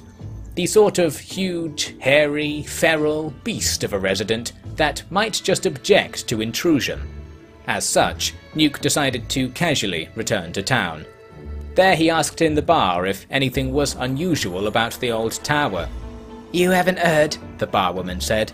That's the lair of the great white gorilla. Beast of beasts. Killed Okran knows how many just getting it in there. The things we did to keep that gate locked up shut. Still tries to get out every night. I hate the sound of it. But that's Morn, isn't it? On the edge of death, right beside our fellows in the bones across the dunes. Nuke nodded along to this fascinating local lore, but then very very quickly gathered up the party and set off for the nearby Tech Scribe Enclave. Izumi was impressed by his enthusiasm for academia, and indeed nobody was mauled by a giant gorilla, so scholarly pursuits were already paying off. Not for Morn, of course, but they wouldn't be facing a problem they hadn't faced before. After fending off a bandit attack on the road, the guild arrived at this tech scribe enclave by nightfall. It was nicely outside of the Bonefields, on a hill overlooking a damp vale dotted with lakes, or perhaps more likely, the remains of the sea that used to cover the bone-dry expanse beside it. Similar to Black Scratch, it was a highly fortified outpost of military academics with shops selling niche goods like books and skeleton parts. Leg! Gustafsson called, brandishing said leg over his head. Yes, he'd finally picked up a suitable limb replacement for his yeoman Ignacio back on the farm, if you were still following that little drama. Now the question was, would this place allow Izumi to get those important matters off her chest? And did they know anything about how to grow hashish outside of a riverside latrine? The answer was yes, with an exciting variety of catches. Well, well, well, this is quite the little treasure trove, the skeleton said. What? Sorry, who are you? Izumi asked, quickly hiding her stack of papers from the approaching metal claws. Don't worry about him, he's the man you need, a local techie said. He's the best data storage and translation buff in the world. We had to edit his boards a bit though, to stop him deleting everything like other skeletons. Made him a little off. Side effect. Yes, and yet again we see that no matter what complaints you stupid humans have about us, it was you who made us this way, the skeleton said. His name was Enrico, and he sat in the tech scribe bar, dressed in the richly coloured robes of an imperial noble, with the patterns of the imperial house, no less, although something tells me he wasn't actually related to Nuke. Hey, hey, what's going on in there? Rick shouted from outside. Keep him out! He's trying to cover something up! Izumi shouted. The tech scribes buzzed Rick with a little device, and with routine ease dragged his collapsing body off to the maintenance shed. They ain't gonna let you live if they find out! Don't you tell them! He was shouting. That aside, Izumi gave Enrico the papers, and within minutes he had them scanned into his memory. There is a lot of new information here. These are good documents. They're good. You are Izumi of Brink, aren't you? Yes, uh, have you read my work? Izumi asked, charmed. I have, but I have read all work, so that is not remarkable. Have you read Yesuke and Rock-chan's Bumpy Ride? Nuke asked. He had to shout a little as the techies weren't letting him pass the doorway, although only because you weren't allowed to wear hats in the dining hall, and Nuke refused to part with his new black wide-brimmed boonie. Matches his jacket and his new dark sunglasses. If you think I haven't read Yesuke and Rock-chan's Bumpy Ride, then you clearly have no idea what academia even is, Enrico said, waving for Nuke to leave.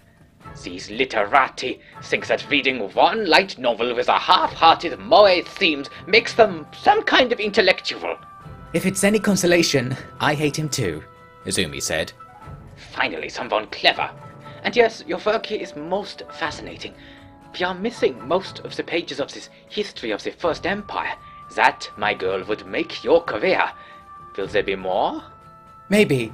We sometimes go to unusual places in search of, uh, uh, well, you're an educated fellow, I'll be honest. We look for drugs as part of our conspiracy to usurp power in the United Cities Empire.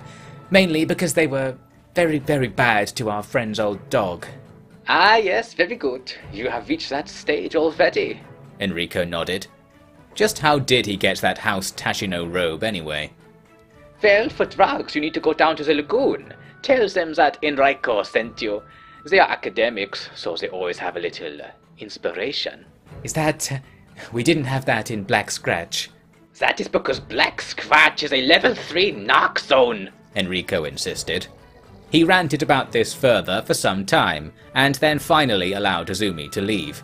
She was paid for her services in transcribed books, excellent additions to her collection in Manxand, if they ever got home. And Nuke got this intel that the grass was greener on the other side of the lagoon down the hill. Soon he was swimming across this lagoon towards a raised metal platform on the water's edge. Standing on huge concrete legs, this Second Empire construction was host to Flats Lagoon, a little refuge for tech hunters, tightly packed with shops, accommodation, and entertainment. But once the guild arrived, the entertainment fell a little flat. You've run out, Nuke scoffed. Sorry, sir, you know how the pen fiddlers up there are, the barman shrugged. I thought you'd be able to supply me. This place is way easier to get to than the swamp, Nuke said. You tried to get there, did you? Yeah, and succeeded. On the way back with a shipment, but I need a lot more. And really, I need a way to grow uh, Nuke stopped speaking when he noticed the whole bar had gone silent and were all staring at him. Who said, a ship, ship, shipment, the barman muttered. Yeah, got a hundred keys, Nuke began, but he was at once surrounded by a clamouring crowd. They were offering him money, clothes, jewels, weapons, and certain luxurious services. Anything for a handful of the good stuff, by which I mean green, by which I mean hashish. It's not for sale. I need more of it, not less. Nuke called above the noise. I'll, I'll tell you the secret! The secret place! The secret place! The barman shouted, and others chimed in to the same effect. So, if I sell you some stuff, you'll tell me the secret? Nuke asked. He didn't ask what the secret pertained to, for that would ruin the excitement. Outside, Izumi had bought herself and her two wing women some stylish black and white adventuring suits with plate armor, making them look like proper tech hunters. And she was a proper tech hunter now, with her notes on the First Empire's relations with that mysterious place called Earth currently being pored over and analysed by the scribes. Finally, let's go home, Wadston said once it was time to go, but Nuke had that worrying smile on his face. Nope, first we're going to the secret place, he said. Secret place, my prince? Don't worry, my man, it's worth it. It's to do with drugs. It seems that everything we do is to do with drugs, my prince. That's literally life, my man. Doesn't really come any different. And while I'm here, Nuke bought another garru from a gang of nomads hanging around the ramp of the platform. She, Garrett, would take the load off Gary's shoulders and increase the smuggling capacity of the group dramatically. Such things were needed because of the secret. Let's not ruin the fun for you quite yet. Let's only say that accessing the secret would require the guild to move east, through the lowland lagoons, and eventually up into the mountains at the other end of the Vale. And quite the mountains they were. One of them was a rather not dormant volcano, and so fog and ash kept visibility to a minimum. Going there at night didn't help either, but the nature of this secret required their presence remain a secret too. It was no secret to the land bats though, Yes, the carnivorous, highly territorial land bats, which were bats on land in as far as seahorses are horses in the sea. They were snarling, long-nosed, web-armed rat pigs with fangs and a temper. And this was their mountain. Coughing black ash, the guild had to fend off raids from these beasts as they carried on east, but finally things quietened down. Then there was some oddly linear and symmetrical shadows ahead of them. The secret? They weren't even lying, Nuke said. He took the guild between two rows of houses, numbering six to eight in all, depending on how you count the ones that were practically just piles of rubble. Nuke saw to the lock on one of the doors and crept inside. There, the promise of the Flats Lagoon addicts was kept. Green growing in brown. The colours have no clear priority, was Gustafsson's comment. He was looking at long beds of compost from which neat hemp plants were sprouting. Pipes across the ceiling supplied sprinklers, and stinky composting devices against the back wall were filled with fresh growing medium. Make your own mank, Nuke exclaimed. They brew up some slop, grow hemp in said slop even without mank sand, and then. He looked around further. Damn it, how do they make the green? There was a brief diversion. As it turned out, the land bats had followed them into the secret drugs farm. While the crew battled away outside, Nuke was rummaging through the various machines and boxes in each building. Lots of stuff for growing hemp, but how the hashish was being made certainly wasn't obvious. And made it was, for some of the boxes were full of it. Thanks to Nuke, whoever was running this place could use that space to store something else now. It's good to tidy up, you know. Well, what's going on? Nuke asked Izumi and Elena, who had been tasked with sussing out the system. Nuke, it's five in the morning. Land bats aren't even nocturnal and they're all over us. Can't you just drop it? Izumi said. Incredibly, this appeal actually got through to Nuke, and they left the drug farm intact. You better work it out, you better! Nuke was saying to them as they walked. I know how to make it, Gustafsson offered. Not your way, that place had no latrines, man. There's a real way. Prince Tashino, have you seen this? Elena said. She handed Nuke a piece of paper. It was a police report, written in old-fashioned Second Empire print. Towards the bottom it read, And the suspect was having a right laugh, he was. You see, he'd rigged up a homebrew solution that was proper good, hashish by the boatload, and all he had to do was... Thus ended the page. Nuke was devastated, but he soon realized Elena's meaning. It gave him an idea for the Izumi situation. Future girl, he said, braving the scowls of Foreign and Shamika. I was thinking that once we're done with this, I'll give you some help with the tech hunting. What sort of help? Like, we'll go wherever you want and look at all the buildings and stuff. No drugs, not even a gram. What do you think? I think. What's your game here, Nuke? I just want you to be happy. So, you want to find ancient secrets about those bloody drugs? Yes. Fuck, how do you do that? Senses, consciousness, stuff you get if you're off the drugs. Like magic, really. Ah, uh, but I wasn't really lying. Is that so? Yeah, in that I do want you to be happy. Lame! Foreign barked. She and Shamika dragged Nuke away. Izumi didn't think it was that lame, actually. The crew moved east, leaving the Ashen Mountain but still marching through barren, rocky expanses, broken up only by gloopy, polluted streams and dusty fungi. This was the depths of the old lands, as the Shek called it, the lands that were at the epicenter of whatever it was that befell the First Empire. It was precisely this event that Izumi's discovery offered a fascinating insight into. The papers had implied a fight, but that much seemed obvious given the still active space laser. Whatever it really was, it was something significant enough that not even the usual scorched ruins were to be found on those mountains. These mountains, by the way, were in the region called Stobe's Gamble, which if you have a good memory you might recall was the place the guild stumbled through on their way to a destined meeting with a load of fishmen and crab salesmen. There was a way back to Manksand from here, but it passed through the so-called Unwanted Zone, a stretch of Beak Thing territory on the southern edge of the Empire. Thus, they went around it, through the quiet lowlands called Stobe's Garden. It was where the coastline had been in the First Empire days, with the sudden appearance of ruined ships as you walked east marking the exact border. Here, the guild turned north towards Black Scratch, but as they passed beside a long set of old coastal cliffs at dawn, they came upon a rare sight indeed, a real relic of the First Empire. Ah, damn. He's still here. Rick muttered. What? Nuke asked, but Rick ran off ahead. The crew chased him and came upon a huge skeleton corpse, taller than the cliffs it lay slumped against. Rick was sat in the dirt staring up at it, and may I remind you that for a skeleton, sitting was wholly unnecessary in ordinary circumstances. Rick, is that... Izumi began. Yeah, we were supposed to hide him back in the 2.0 days, but you can't, can you? This guy. We owe it all to him. Rickard, is that the one you called Stobe? Isaiah asked. King Stobe, Gustafsson remarked, remembering Rick's old claim.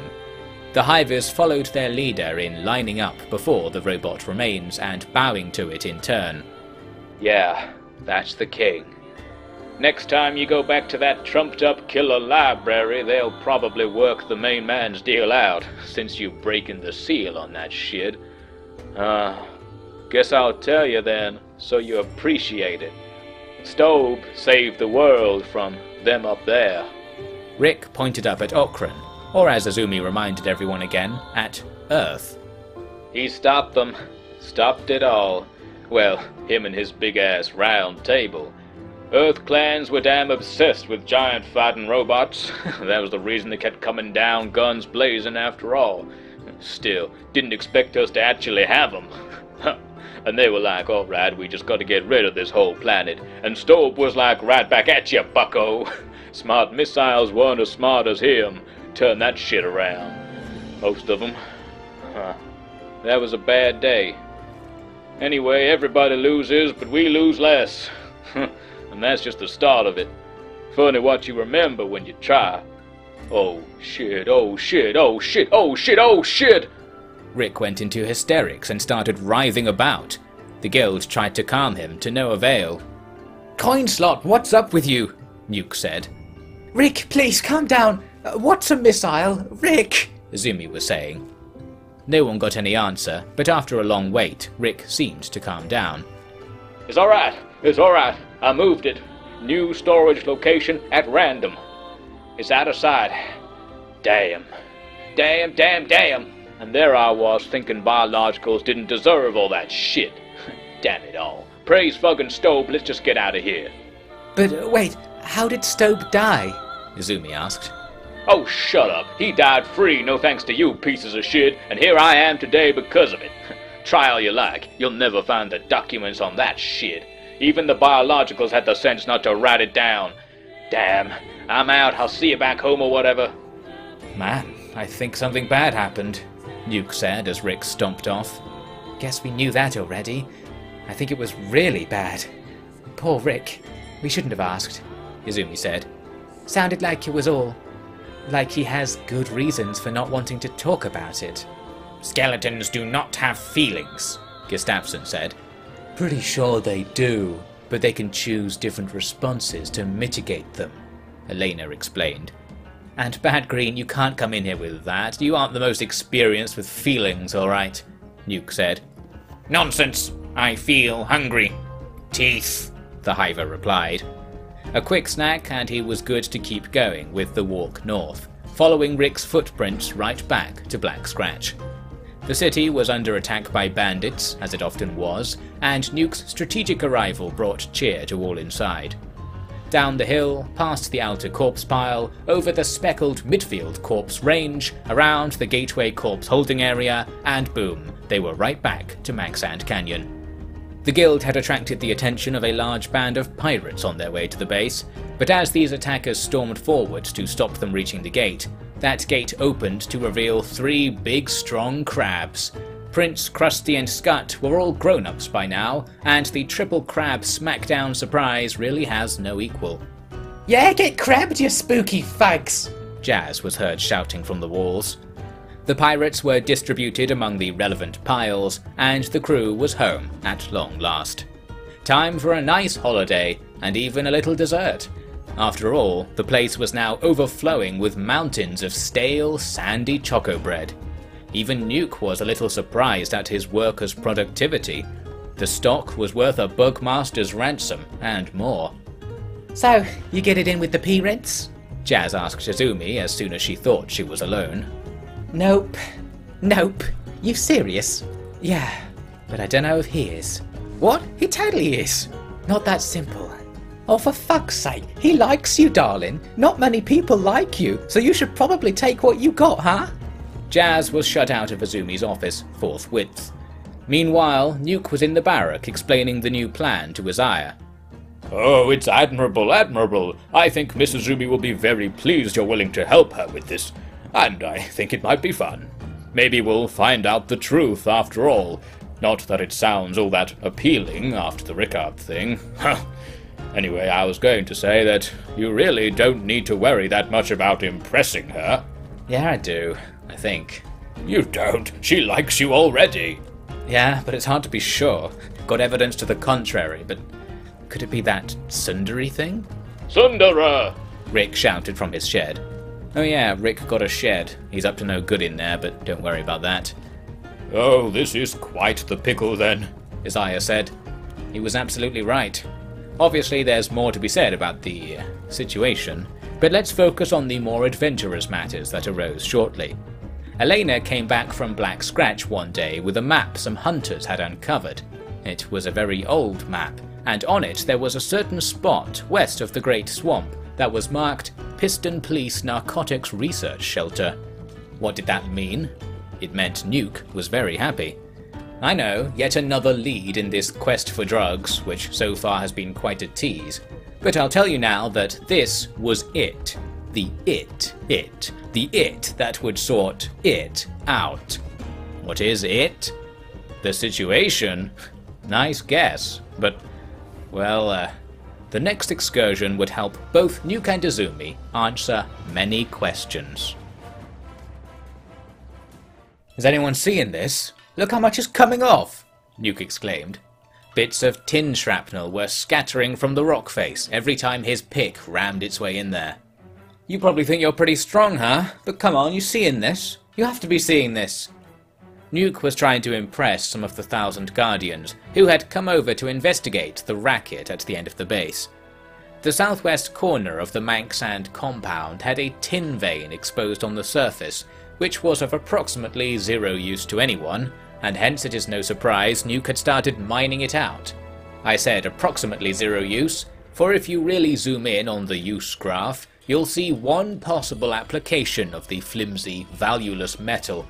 It was put in the hands of one strong, infinitely valuable skeleton with a red faceplate. Red Rick had been in a bad mood ever since his recent encounter with Stobe, whose role in Rick's life was of both the utmost significance and secrecy. It was to be a secret even from himself, and so to that end, Rick had discovered a nice way to divert his processing power elsewhere, he was polishing up the tin ore, then hammering it into little shapes. These shapes, when assembled, created little model humans, faithless and dull. Perhaps that was how Rick saw his fleshy muse. Nuke was therefore trying to help his supposedly suffering Star Warrior, and embarrassing himself in front of the Shek was just a fringe benefit. It wasn't the only genius idea he'd had recently, Unhappy with how the whole Bugmaster campaign had exposed many people's mortal weaknesses, he devised a genius way to make his crew a little more thick-skinned, or at least more crispy-skinned. It was as simple as it was effective. He had people taking turns sitting on top of a fire, because what doesn't kill you makes you stronger, the ancient literature claimed. Nuke pointed to Ignacio as a case study of this effect. He had lost an arm and a leg in service to the guild, but he survived, and now he had a robot arm and a robot leg to play with. Stronger. And more lopsided, but you can't expect these legs to be one size fits all, can you? Later that day, Nuke called Izumi over to watch the fine mining. It's all in the swing, you see, Nuke explained knowingly, doing the swing with well practiced incompetence. Great. At least you're helping Rick. I think that's good of you. Maybe he'll calm down and explain something. That bot's everything I could ever want. I told you to stay away from me, alright? Still ain't got the shit out of there from last time. Rick called from the shed. All I could want for my research. Tell me your secrets and I'll leave you alone. You leave me alone and I won't go telling anyone your secrets, you pervert. Rick concluded, disappearing again. Sounds like he had secrets that both Izumi and Nuke would be highly interested in, but he would say nothing of either. Hence, Nuke and Izumi clanked away at the tin seam all afternoon, ironically slaving away on behalf of a skeleton that wanted nothing more than to erase his memories of the time when such a relationship between man and machine was mandatory. This homely bout of conspiracy, perversion, and manual labour was interrupted by a lone Shek arriving at the base. He was one of Esata's troops with bad news from Admag. I knew this would happen. Isaiah nodded. He pointed at a spot on the map hanging on the barrack wall. Those old fools couldn't let go. They'll be moving light and swift. Should be about here. By tomorrow, perhaps here. And then we shall have berserkers at our gates. And these Shek can't be reasoned with? Wadston asked. I seriously doubt it, Isaiah said, shaking his head. I believe these will be the Shek who were slated to battle the Bugmaster, but have had their valor and such stolen away. Stolen by the Prince and I, I suppose, so our heads are the new target for the last stand. We ended that, though, right? Nuke said. Stone Zone said she was going to sort the whole death cult thing out. I know, but not everyone will listen, will they? You know how people can be. And we, Shek, we're like how people can be all the time. How many berserkers are coming, you reckon? Izumi asked. There's no way to say. All we have is this rumor that they'd set off. Could be a thousand, perhaps only one hundred. Either way, we need a plan. A plan? Nuke scoffed. Wait, man, we've got the thousand guardians here, so a thousand crazies ain't nothing. And we're sitting on like a stack of choco bread. Brown pound, straight from the brown mound, day in, day out. What are they gonna do? But the canyon will trap us, Sandor warned. If things go wrong, we'll be out of luck. They could even blockade us in here and wait for the bread to run out. A siege? That would be terrible, Wadston said, remembering the siege of Heft two decades prior in the war that brought a certain Tashino clan to power. Man, sounds like the battle to save the kingdom isn't over yet, Uke said. We'll deal with the last of the old guard the hard way. They might attack us over the walls or trap us here, and we've got to be ready. Let's get down to business to defeat the Shek. Did they send me fleshies when I asked for mechs? Rick hummed to himself outside. His eavesdropping complete, he went back to his shed, confident that the battle to come was his to win. Out there, rushing towards them with unheard of speed, was a horde of angry, belligerent Shek berserkers, lifelong warriors, eager to die in battle or die trying. Nuke's army braced themselves for the onslaught, preparing medical supplies and fresh beds, and of course sitting on burning campfires, after which the thought of getting a sword wedged into you didn't seem that bad. The morning of the battle came. I want to see 10 and 20, Gustafsson shouted to Nuke from the wall. 10 and 20 what? Units! Units of. Units of walking! I think he means to say, Jazz interjected. that he wants the 10 and 20 pace lines marked out in the approach. We've got a load of firewood left over from the squat and singe program, so let's light it up. The gate was opened up, and Nuke started marking out the range lines while the archery experts calibrated their weapons up on the walls. But there was a loud jangling sound, then a load of scraping. Come on, you sons of guns! Rick said to the sack he was dragging across the gate threshold. Whoa, are you running away from home? Is this about Future Girl? We could share. I'm not that fussy, man. What in the name of hell's old and new are you talking about? You can keep your slime ball girlfriend, thank you very much. Good luck with the. well, you'll find out. Nothing much to worry about, all that. Anyway, I ain't going anywhere. In fact, I'm gonna sort your shit out. Check it. Rick opened his clanking sack to reveal a legion of tin figurines. Wait, they can fight? Nuke asked. Kinda. Ask yourself this, my biological friend. If you rolled up on some outpost and saw it was guarded by a horde of strange little metal men, wouldn't you be a little worried they were up to something? But to clarify, they aren't actually up to anything. No! Well, haven't kept that close an eye on them, but even then, the only thing they've been up. Damn it, I said I'd let you find out the hard way. Uh, just move it, will ya? Rick laid out his army of tin men across the gates to the base. Each was about a foot tall, a featureless humanoid shape on a square stone base, with no moving parts and not even any sharp edges. Would this be enough to stop the horde? Rick, believing so, returned to his shed. Meanwhile, Nuke got the rest of the crew organized.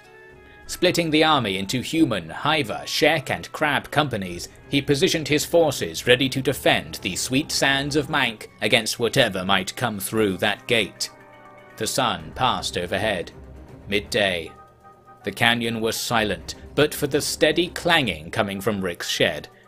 Then there was a raspy tone that echoed from the west. A war horn! Isaiah said. Thousand Guardians, by the left! Start pounding that mound! This strange order caused the Shek to inject their performance enhancing starch. The ground began to shake as the Berserker horde approached. It came down into the valley, and at last the guild saw them. They wore little, but carried huge two handed greatswords. They cawed and whooped as they suddenly rushed for the walls, but then they fell silent and stumbled to a halt. The front ranks were staring at the Tin Man army.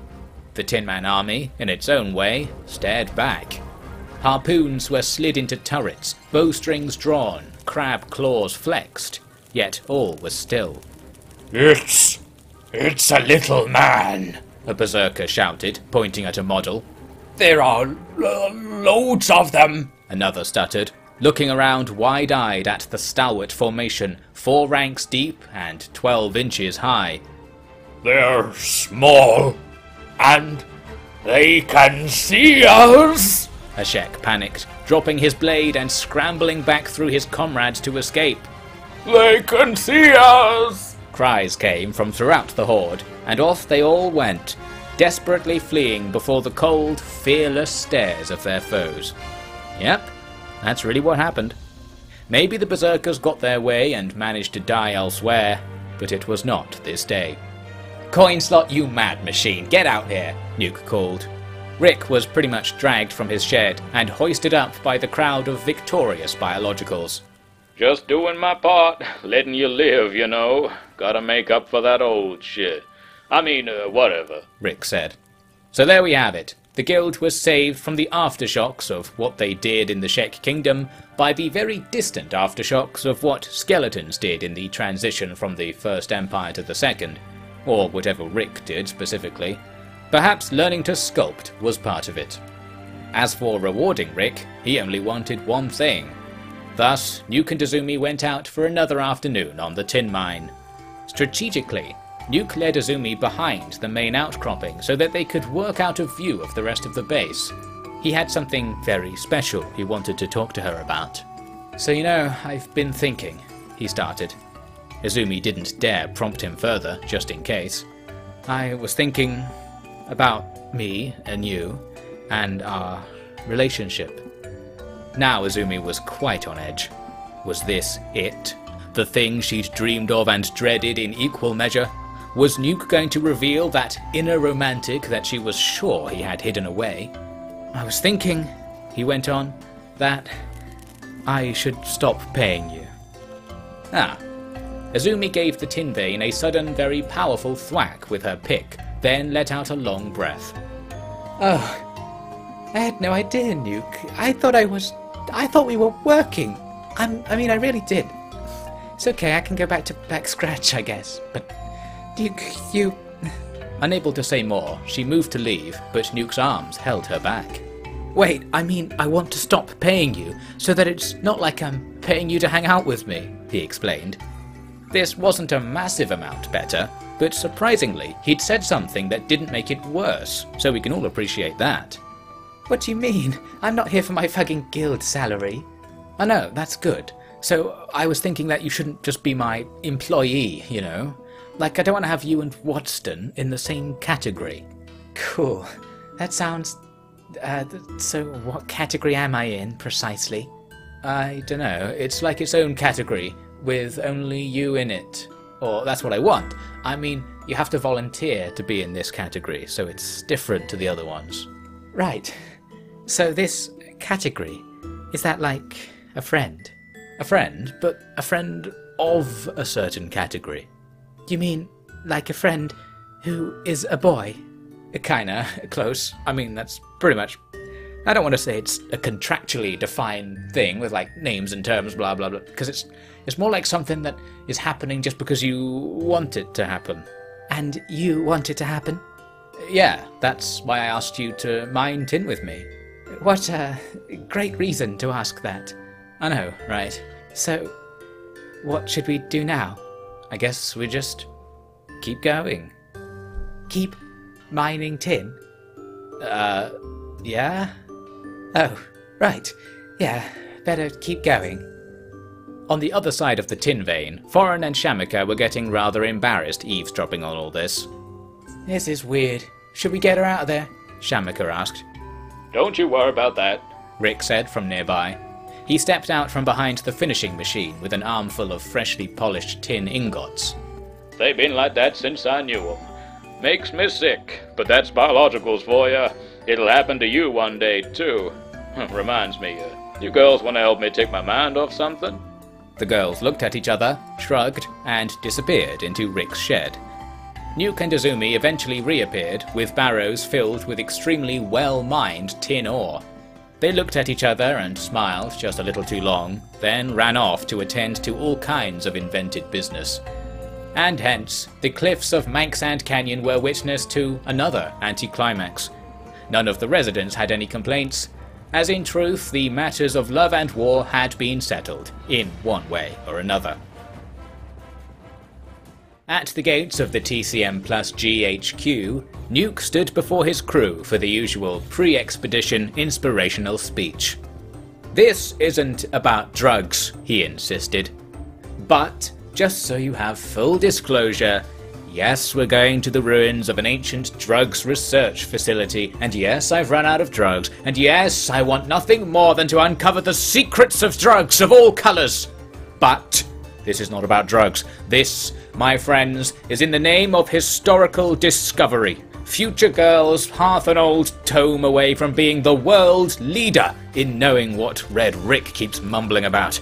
This is a noble quest that will literally literally go down in history. Huh? You like that? No? And we, uh, if you do see any drugs or whatever along the way, uh, just let me know so I can uh, make sure it goes down in the future instead. Any questions? Where are we going? Els asked. Old Drugs and History place. It'll be grand, Nuke assured him, and off they all went. Their destination was the Piston Police Narcotics Research Shelter. It was nestled in the steep hills southwest of the Great Swamp, and hence the Guild was heading out via very familiar routes. They battled their way through the reavers and bandits of their home ranges. They battled the headless robots of Venge during the night, getting a little revenge for the abuse old Farmer Lon had put up with on his little jaunt in the area. Then they battled the heavily unionized bandits of Shem on account of passing through the region during reasonable business hours. From there, the easiest thing to do would be to go around the swamp to the other side, but Nuke accidentally led everyone through it, where he accidentally visited the tree tree and accidentally made certain capital investments. Man, these salesmen, he said with a shake of his head. You go in there for a swig of water and they upsell you to three, four, fifty keys of bloody hashish, which this trip is literally the opposite of being about. Nuke, I don't mind if you want to buy that stuff, but on one condition, Izumi said. I will listen to your treaty. You have to stop being an ass. Literally, that's what this stuff is for. It's the makes you feel human juice. Juice? Swamp style, baby. Drinkable drugs. I like drink, Els said. Then, Charlie, my boy, let's drink. You would buy into this stupid stuff, Izumi muttered. Don't nag the egg, Isaiah scolded her. By now, Els had downed a vial of the murky water Nuke had given him, which looked, smelled, and tasted a lot like swamp mank. It don't make me feel you. Els said, cut off by his face slamming into the ground. There he lay. Is he dead? Izumi asked. No, that is what it's like to feel human, Nuke shrugged. So that means it's time for me to drag that dead weight into the future? Rick said. Into the past. We're off to the drugs museum, Nuke declared. Nuke, now in fully human form, led the way west. The west edge of the swamp was a little drier, with tall bluffs to clamber along, and only a smattering of wild blood spiders to contend with. They were soon on a well trodden smuggling route south, which took them right to their destination. That's the place, the grid, Elena reported, looking up from the map. There was a passageway through the bluffs in which the twisting, slimy branches of the swamp flora gave way to sheen, sharp, crystalline rocks. There was a tight way through into an extremely narrow valley, the sides made entirely of the shiny blue stone. There were several of these valleys cut into the shimmery cliffs, intersecting each other at right angles, creating the grid which the name on the map surely referred to. Unusual. Unbearable, Gustafsson commented, preferring not to look at the valley walls. This can't be natural, Izumi said. Natural as the planet itself. Came with it, Rick said. Came with it. Just what did you do this time? Nothing. Look for real this time. This shit is from the beginning, before I was a glint in some lazy human's eye. Just a mess up, as I recall. Some joker got their hands on the planet building stuff. What planet building stuff? Wait, you don't even know about that? Shit, we hit all the good stuff, didn't we? Well, we'll see about that. Come on, let's look for remains of this piston police thing. Izumi waved for everyone to start searching the valleys.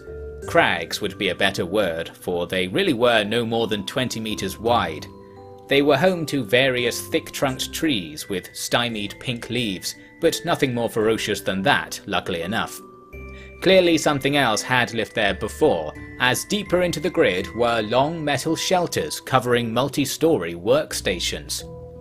Incredible! Second Empire. Early Second Empire. No, even earlier. Look at these joints, Izumi said, examining the heavy plate metal construction. Elena took a look around and concluded, No, not First Empire. Too crude. Not Second Empire. Too sophisticated. This was built before the First Empire techniques were forgotten. That's amazing. I've never seen anything like it. Izumi was about to start climbing a ramp to get to what appeared to be the main section on the top level of the workshop, but Nuke held her back. Wait, wait, you don't know what's up there. Traps and shit. I'll look first, he said. That's part of being a tech hunter, Izumi complained. We'll share it. I'll hunt, you tech. Whatever. With this enthusiastic acceptance, Nuke got to work. Up on the top of the workshop, the rest of the guild couldn't see him, but they had some evidence he was still alive since he kept throwing little paper planes down. Unfolded, they revealed barely legible documents, mostly the intriguing chronicles of whose turn it was to order in fresh grog for the fleshies. While Izumi battled to keep this away from Rick, Nuke rifled around a variety of quite familiar machines, Second Empire tech was no different to what the United Cities, aka the Third Empire, aka the Second Empire but renamed and repopulated, had access to. To put this all another way, Nuke had no trouble breaking open all locks, bolts, in trays, outflows, nooks, crannies, and crates. He found skeleton parts, rare tools, some very, very old trousers, but most importantly, he found a report on hashish a report that detailed precisely how the, and I quote, downright cheeky Doomhumes, end quote, created their magical makes you feel human stock cubes. It was the recipe for hashish, to be clear, and even through his grubby sun goggles, Nuke could see it. I had another accident! he called as he belted down the ramp to return to the guild, waving the hefty wad of papers over his head. That's great news, Prince Tashino, Isaiah cheered. Nuke showed them all the documents explaining the details of hashish production. With this, we could just brew the stuff in Dad's fucking attic, Nuke said. My prince, please, I think we should keep all criminal activity outside of the capital. At least outside of the palace, Wadston said. Criminal? Come on, Dad's asking for it. Or he did, like, months ago. He's definitely forgotten about it by now, but you know, when we show up, he'll be happy. Like, surprise, here's a load of drugs.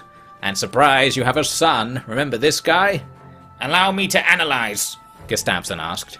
He looked over the plans, then all the other hivers looked over the plans, then he returned them with a bow.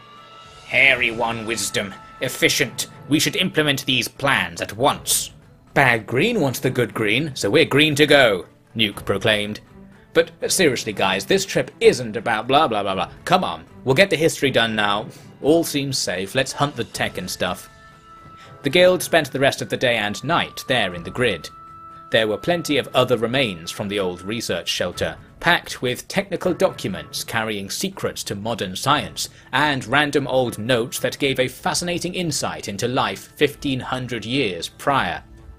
Okran's faceplate, Izumi remarked. Find something? Elena asked. Yeah, Okran's faceplate. Look, it says someone was arrested for trying to vandalize Okran's faceplate. How can a god have a faceplate? I'm right here, ladies, Rick insisted. Rick, what is all this? Izumi asked, but the skeleton shook his head. Before I went down Black Desert City, there was no Okran. Someone thought him up along the way. Only one god in the Empire I left, the king. Stobe? Uh huh. And could it be his faceplate? If I caught someone touching the big man, I'd do more than arrest him. But hey, maybe that's why they kicked me out. Kicked out of the Second Empire? It was all the Second Empire. You couldn't get kicked out of that back in the day. And you know, I seem to have forgotten all the details. I know. May I interrupt? Isaiah interrupted. Do I gather from this that you're saying, Rickard, that Okran was just an imaginary god? But he's in the sky, Els pointed out. Look, I don't know shit about it. Biologicals can believe what they want. That's the only good thing they got that we don't. Rick said, quitting the conversation. My, first I've heard of all this. I mean, everyone always says Okran is timeless. Prince Gustavsson, what do the Hivers know of this? Isaiah asked. Your gods are false and irrelevant. We laugh at your delusion, was the reply. Oh, come now, that's rather mean. I know. Will you say Okran is real if I give you these three teeth? Yes! Go on then. Teeth is. Okran is real. This is not a joke. Please transact now. Isaiah transacted, and aside from this little debate, a quiet and pleasant evening was had in the ruins of that piston police pad. Izumi successfully harvested a little collection of tidbits from the past. There was more where that came from though, she guessed, as the part of the world from the grid to the southwest coast was uninhabited and barely explored by the hunters. Plus, it was pretty. In the morning, the guild went up the far end of the grid and into the huge vale at the tail end of the Spider Plains. In the west, the arid, rocky ground began its rise up to the familiar horrors of Arak Mountain. In the east, a steep wall of ancient crystal rose sharply into what looked like a mountain from the base, but was in reality more of a hollow crater. Like the grid, this strange land predated even the First Empire and was thoroughly untamed. To be more specific, it was packed from slope to summit with beak things. Similar to how the azure sands of Gut back in the Empire seemed to attract the beasts, the mirrory crevasses of this huge blue crater really were a beak thing's thing. The guild then had to fight these beak things every hour or so as they tried to find any good archaeological burglary sites. After a day of trying, and nearly dying, they gave up and took an old road away from the crater, leading south into the boring brown hills of Shun. Shun had been extremely briefly a part of the United Cities Empire, but that was in the messy transition from Empire 2 to 3, and amid said mess, all the people living there had died or fled. Thus, the region was a little time capsule, left undisturbed in the corner of the world, shielded from colonization by Arak and the crater. Its last link to civilization was this dusty road that snaked around to the east towards the fraying edge of the modern UC Empire. Given the history, and recent lack thereof, of Shun, you might expect there to be plenty of archaeo stuff to study, and you'd be dead right. I say this because the Tech Hunter expeditions to the area had encountered a little too much death to carry on. Why? No one knew. As such, Izumi was on edge the whole time, but it was really a pleasant, undisturbed march beside healthy rivers and rolling tan hills, then, on the other side of the river, they came across a completely untouched Second Empire outpost. Nuke did his thing, and indeed the inside was full of goodies for his female, to quote, friend, unquote. It's really here. Everyone in Black Scratch always said the Shun Run was some impossible joke, Izumi said. Yeah, but to be fair, I heard Black Scratch is a level 3 Narc zone, Nuke said. Their problem now. We can actually do this, Nuke. If I go back with what I have already, I'll get published for sure. If I bring back the treasures of the Shun Run, I'll be the only damn one who matters. Oh, well, that's good, because you are. Not with those old fogies saying my stuff's too speculative. Not like we have. Oh, wait, did you mean. Uh, I, I, I meant we're totally going to do the Shun Fun thing. Run. Don't mind if I do.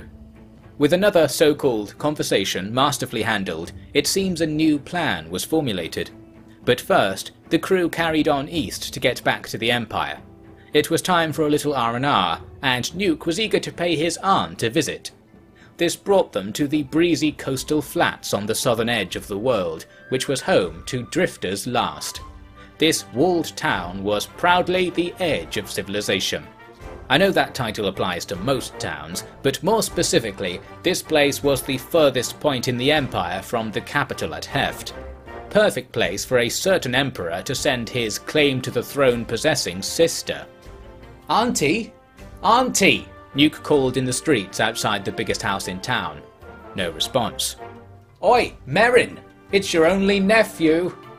Merrin appeared on the roof, with a bottle of rum in each hand, peering down at the urchin below.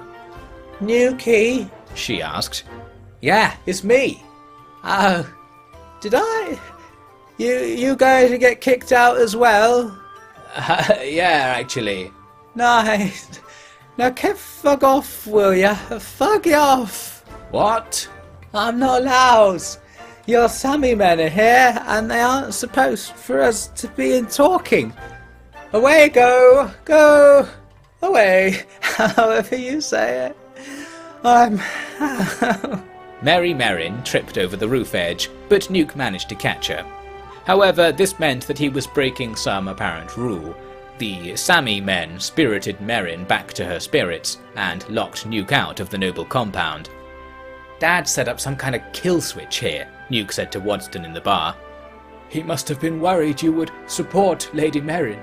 He doesn't trust me. I fear it could be because of the laws you broke, my prince. What? It's the other way around. If he'd. Whatever, man. This really pisses me off, you know. I understand.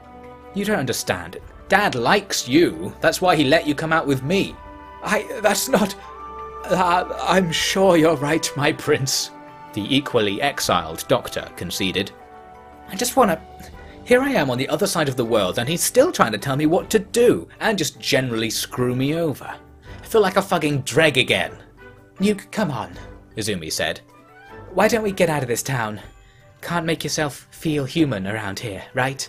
Too bloody right. Thanks, future girl. You get it, don't you? I don't think so, but I'm trying. Man, man, that's like even better. Is it? I don't know. Right, we're going on vacation. We're in the Riviera after all. Yes, after just one night in town, the guild was dragged out to go on Nuke's proposed vacation, now I say dragged because everyone presumed this was just some weird way of saying they were going to brave feral beasts and raving lunatics in order to secure a piece of an old spoon that was once used by a legendary stoner.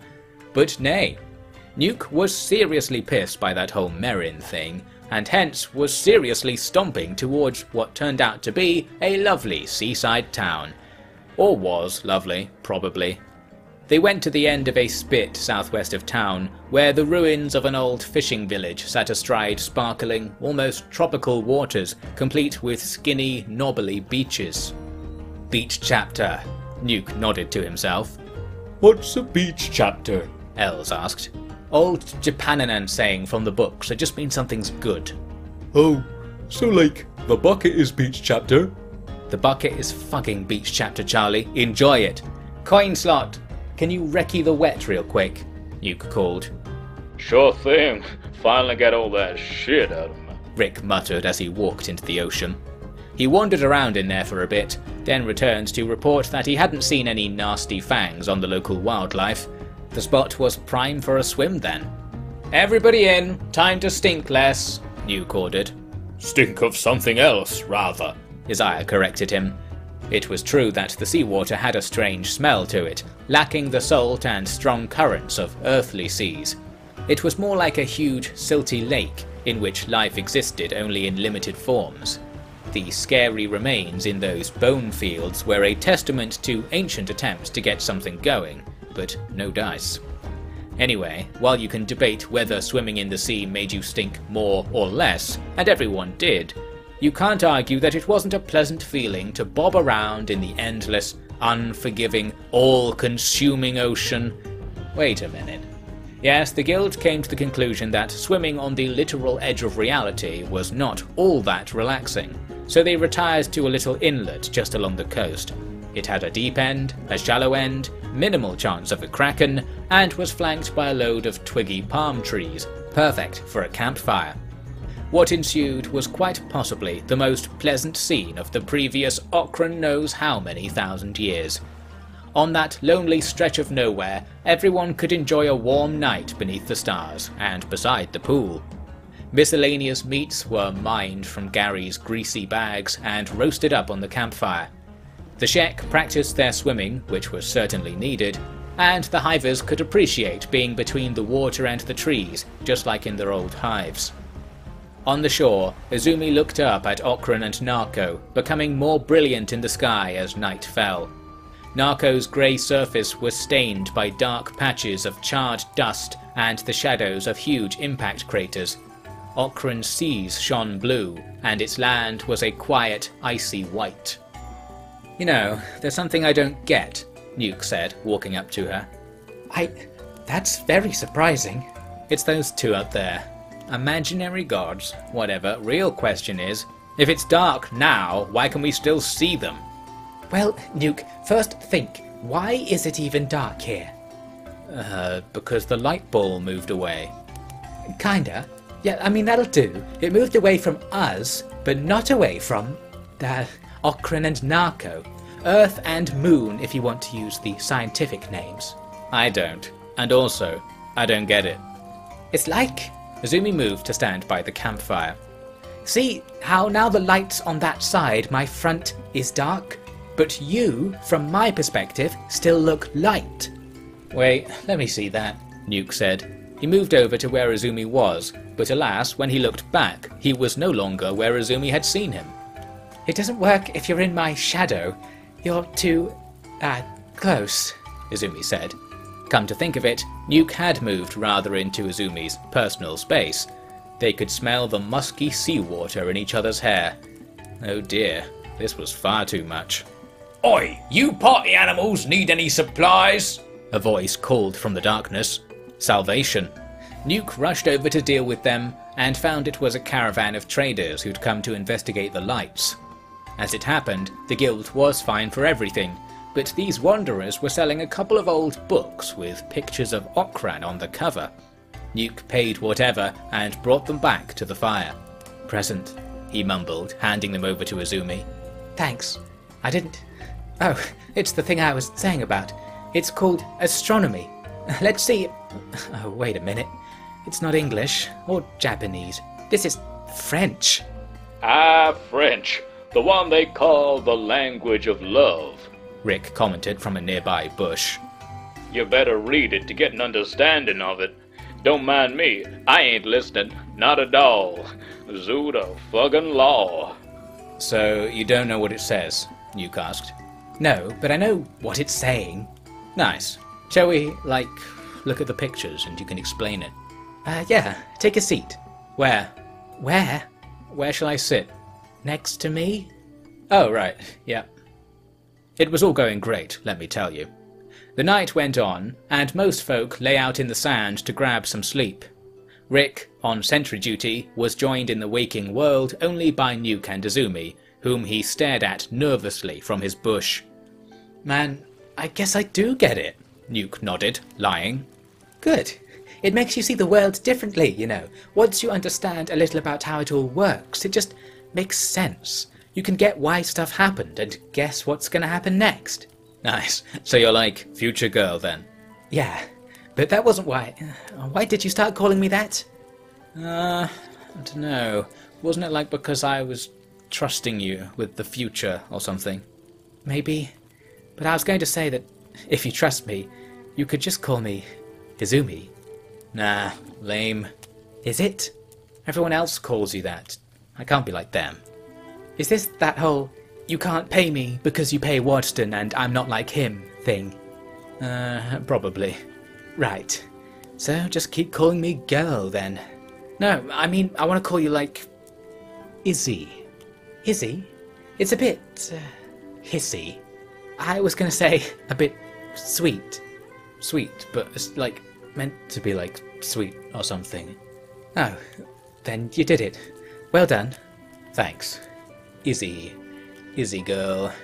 Izzy, my friend, who is a. You know, it's quite late. Yeah, probably. We should get some sleep. Yeah, probably. How do you. Uh, what's the best way? Lie down? Like, here? Yeah? While I'm still next to you? I mean, anywhere. Oh, here's as good as anywhere. Night. Good night, Nuke. And one more thing. Sorry I don't have a sweet name for you. It's alright, it's uh, kind of my thing anyway. Well, just so you know, I do want to call you my friend, my friend of a certain category. Bit of a long name. Yeah, I'll save it for special occasions. Should be plenty. Yeah, I bet. Let's sleep then, Izumi said, commencing the process of pretending to be asleep all night next to someone who was doing the same.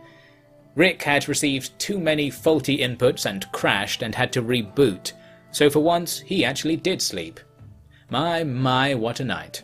The next day they'd be off into the wilds of Shun to discover the great mysteries of history, including why precisely all the tech hunters who went there before never returned, and, much more crucially, the properties of the unique friendship category Nuke and Izumi had assigned to each other. Rick's gonna love this. The far distant reaches of Shun were long since abandoned by civilization. And you know what they say nature abhors a vacuum. That vacuum was thus filled with large, blood sucking spiders. Nature, why are you like this? Yes, our heroic guild were forced to battle the locals of a Second Empire outpost, but the prize was worth it. The iconic mushroom shaped buildings were in terrible condition, and hence less mushroom shaped and more pile of blown up rubble shaped. Structures like these didn't collapse on their own, and nor did the Second Empire. Artifacts and written documents were hidden in every corner of these ruins, and thus the better part of the day was spent there collecting them up. It was a simple team effort. Izumi did all the work, while everyone else kept their hands, feet, and will to delete away from the precious treasures at all times.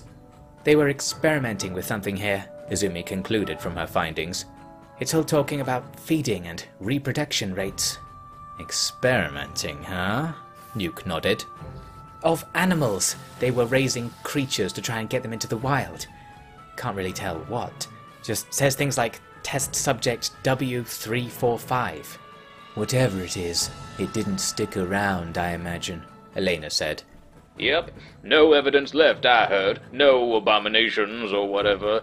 Uh, scientists like them wouldn't have accidentally called anything with four legs a damn spider, so we know there's nothing there. Rick reasoned.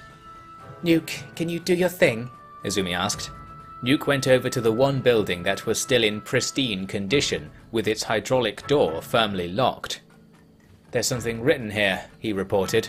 Says, Speak friend and enter. Fucking nerds. Rick called in the distance. Ah, must be a riddle or something, Izumi said. Nah. friend, enter. What? I said friend and enter. Is that not it? No, it's probably some secret word. Secret word. Oh, I get it. Nuke pulled Izumi closer to the door and put an arm around her. Izumi wasn't sure Nuke had actually got anything, but wasn't complaining so far. Then he said, Hey door, look, this is my Tomodachi, who is a girl. You mean your Kanojo? Uh, I. Oh, yeah. The door was opening there and then. Second Empire was a weird time. Oh, by the way, Kanojo really does mean friend who is a girl. Although, a more apt translation might take the first and last words aside, reverse them, and just go with that. It sounds like Izumi had been having a cheeky read of the guild's custom translated ancient literature. Given that she was now entering a quiet library with Nuke-kun, those tales must have been foremost in her mind. That would explain why she seemed so nervous as she rifled through the drawers, shelves, and boxes, bagging random books and folders without looking at them. Phew, uh, Izzy, why don't you come up and take a look at this? Nuke called from upstairs. Izzy was experiencing a very bad case of Doki Doki now. If you don't know what that is, then what can I say? You haven't read the classics, have you? Enough of this, it was all business really. Nuke had found a big map of the area from the pre-abandonment days. It seemed to indicate that the headquarters for the creature creation program was on a plateau to the northwest. This will be the perfect place to find what we want, Nuke said, saying it of a spot on the map, of course. Yeah, it's so isolated. There won't be anyone there to stop us getting to the truth, will there? Izumi said. Still speaking of the archaeological stuff, although she was edging awfully close to her senpai. So, uh, is E Izzy, my friend. I wanted to. Nuke muttered. Yeah, sorry about what happened last night. Wait, what happened? I was asleep the whole time. Oh, me too. I meant before that. I was being weird. No, no, it was fine. I don't mean to be a tsundere, you know. What? You know what that is? I've been reading. I. You're not a tsundere. You're. I don't know. Just you. Just. Izzy. Nuke. Call me that again. Anything you want. Izzy. Oh, fucking hell, Izumi said, before doing something very untoward. What? I don't know, do I? This all happened in private. Can't we just let them have their little night in the library? And it was all night, by the way, with the rest of the guild camping out in the ruins around it, daring not approach that temptingly still open door. Only Rick's microphones were sensitive enough to detect the truth. Nuke stumbled out of that door amid the first hints of dawn and started frantically clapping his hands.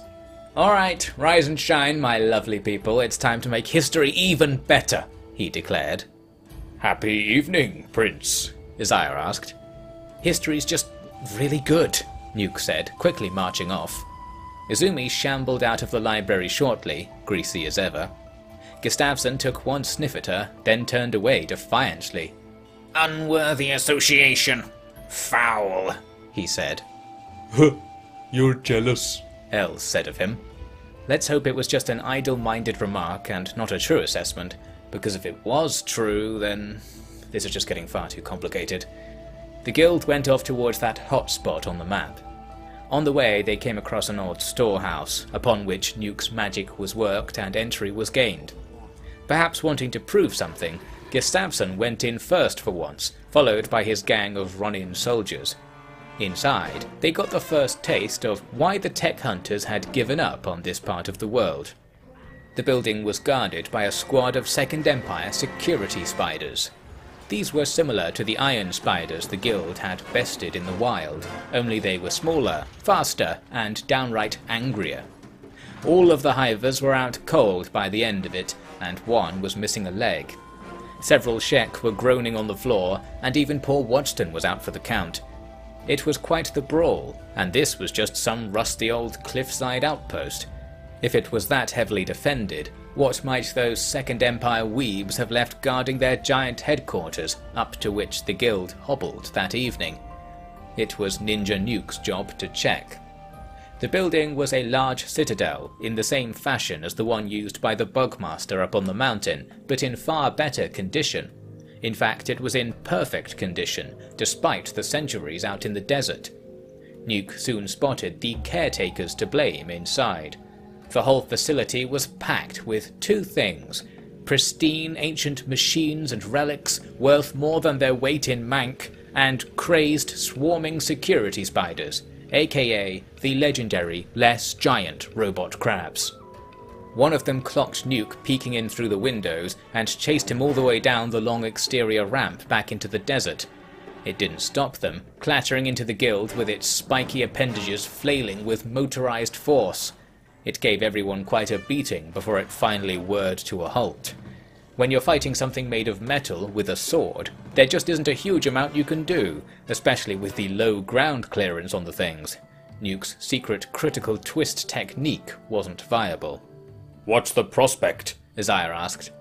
It's packed full of the good stuff, and shitting crawling with the bad stuff, Nuke breathlessly reported.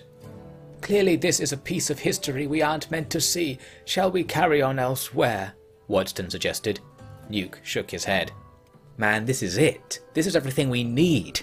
One last big job. Not that I've ever. Ah, uh, wait. Izzy, you explain. Wait, not that she. Because of the history. Ah, shit, we're staying alright. We'll figure something out. Thus the great siege of Shun began. That night, Nuke went up for another peek inside. The other spiders on the first floor weren't as watchful as the earlier one, and so he managed to actually get inside. The pristine tools and machines were his to touch, and those webless spiders were none the wiser. He crept up the ramp to the second floor, where even more valuable and exciting machines sat, humming away even after a thousand years or more of standby. but there was a security spider at the top of the ramp that Nuke had to get past to spy any more secrets. It was facing the other way, but as Nuke tried to step around it, a crumb of chocolatey starch fell from his messy stubble. It landed right in front of the spider, which buzzed to life and immediately pinched the crumb into its mouth. Calorific content exceeds recommendation. Suggested approach to reconciliation. Execution without trial for all humans. The spider's dusty speaker reasoned. Oh dear. Nuke tried to leg it, but tripped on the spider's leg and whacked himself out cold on the floor. Still, the spiders had booted up for blood, and so a few went looking for targets outside. The guild camp was there for the taking, but after a hard fight, the spiders were held down and stripped of their vital parts. It was the dead of night, and with half the guild now moaning of cuts and bruises, it was almost possible to miss the fact that Nuke hadn't come back. But after all the situation Izumi had endured, she wasn't going to forget him that easily. Nuke, are you okay? She shouted up at the towering lab. In that instant, Nuke woke up on the cold steel. Nuke, please come back. Say something. The shouting went on. Nuke scrambled over to a window, ignoring the spiders around him, and called back, Don't worry, Kanojo, I'm good. Danger. Otaku language detected. Engage combat protocols. A voice said from speakers throughout the lab. Oh dear. Nuke barreled down the ramp and sprinted back outside, chased by another cluster of angry arachnomorphs. They called me an otaku, Nuke complained, but there was no time for semantic analysis. The spiders crashed through the barely standing guild, and this time it was very much touch and go. The spider's whirling bludgeons touched your arm, and off it goes. Ruka of the Thousand Guardians watched her sword fly off in her former right hand, but immediately pulled a dagger with her left and bashed at the nearest spider casing. Eventually, each spider bot was torn a few new ports, and the fighting was over again. Please stop going in there, my prince. This is too much, Wadston said, struggling to raise his head off the ground. Nuke, one of the few still standing by the end of it, agreed. The next day of the Great Siege was spent with everyone lain up under a few tall trees nearby, covered all over in gauze and splints. All the while, Nuke was sat in the dirt looking up at the tower. My man, was this what those old sieges were like? he asked Wadston.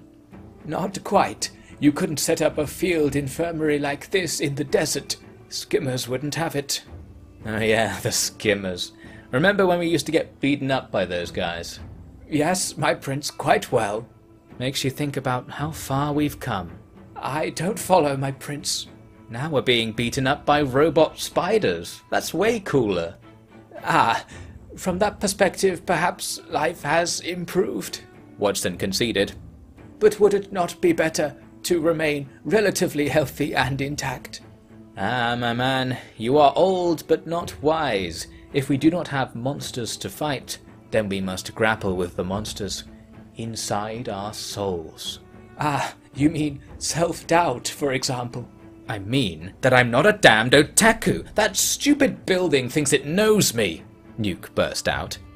And uh, what is an otaku exactly? You still haven't read the classics. It's like someone who never gets a beach episode, but must always dream of it. Is that bad? It's the fucking worst. It's as bad as calling me a loser. Wait, the building called you a loser? Isaiah said. That's nonsense. I know, Nuke shouted. That's it. I'm sure we've killed them all now. I'm taking another look. That was on the morning of the third day, which, for reasons entirely unrelated, was the third time Nuke came running out of the lab with cantankerous clankers in tow. Another fight, and still no one had managed to die, but everyone was certainly thinking about it after all these terrible beatings. Some of the hivers were comatose, hardly anyone could walk, and the stashes of painkillers and bandages had been run dry. Only a hero could rescue this ailing army from peril, and a hero they had. Well, watching you fleshies get it handed to you's been great, but I'm gonna help you out here. Rick said. Rick, don't tell me you can control those things, Izumi asked. Control? Oh, I get it. Just 'cause I'm a robot, I must be friends with all other robots. Damn, you gotta get out more, sister. Sure, I accessed their. Wait, wait, look, I'm not going there. It's just rude, man. Just straight up rude. Ain't touching your firewall, ain't touching theirs. You hear me? Technically, I can hear you, but it's not really helping. I'm saying I'll hook you up with some beds for your bruises and shit. I don't know, back in a flash. Rick thudded off into the dawn and ran with superhuman speed back to Drifter's Last. There, he purchased a load of camping gear and returned it to the siege. With camp beds, fresh medical supplies, and the finest homemade booze the Empire's back alleys had to offer, the next couple of nights under the stars passed much less painfully. In fact, most were back on their feet now, and laying about was getting boring. Right, shall I do it again? Nuke asked. Oh, go on then, Isaiah said, waving his guardians into formation. Nuke popped up to the tower and stood proudly in the main doors. Hello, everyone. I am well versed in Japanan literature, he said. The spiders scanned him curiously, but didn't move. No? I mean, I really like those pictures. Still nothing. Nuke huffed and pulled a light novel from his bag. It opened with well-worn ease onto a particular page spread featuring a hilarious incident of semi-accidental groping. This is Mikuru-chan, and while we don't live in the same dimension, I believe we share a strong romantic bond, but I'm not an otaku, Nuke declared. That did it. Critical degeneration detected. Eliminating parasite vector. The voice said. Nuke had some more spiders to show his three-dimensional friends, and an epic battle with the power of teamwork and so on was had. With this, all the spiders on the first floor of the lab were out of action. Next, Nuke went up to the second level, where a couple more awaited. Hey backers, check this out, he said, running across the room with a stooped posture and his arms outstretched behind him.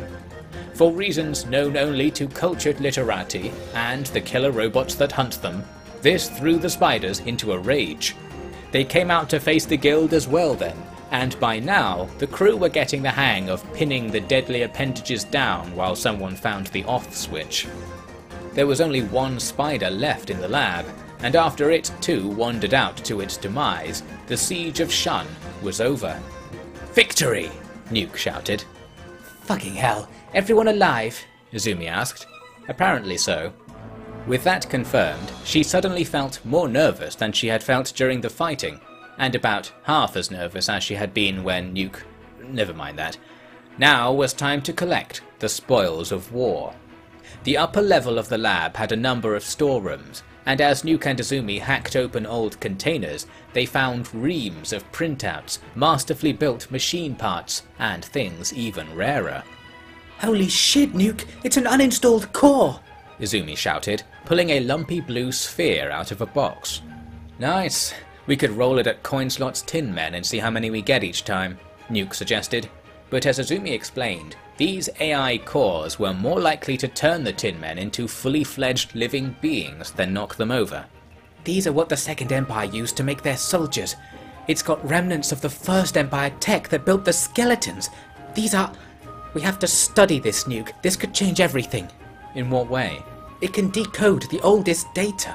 All this data, all these pages. If we get this to Enrico, we're done. I'll be the best tech hunter of all time. And the drugs? Nuke, if you can get me and this core to the scribes in one piece, I'll get them to draft a green machine plan from those notes you found. No problem now that we've got this. Kind of a waste of the greatest scientific discovery in 2000 bloody years, but hey, gotta test it out on something. Fug. Izzy, we're literally the best team. It's all you, Prince, I assure you. And it's all for you, is, I assure you. Thanks. I've got a good feeling about this.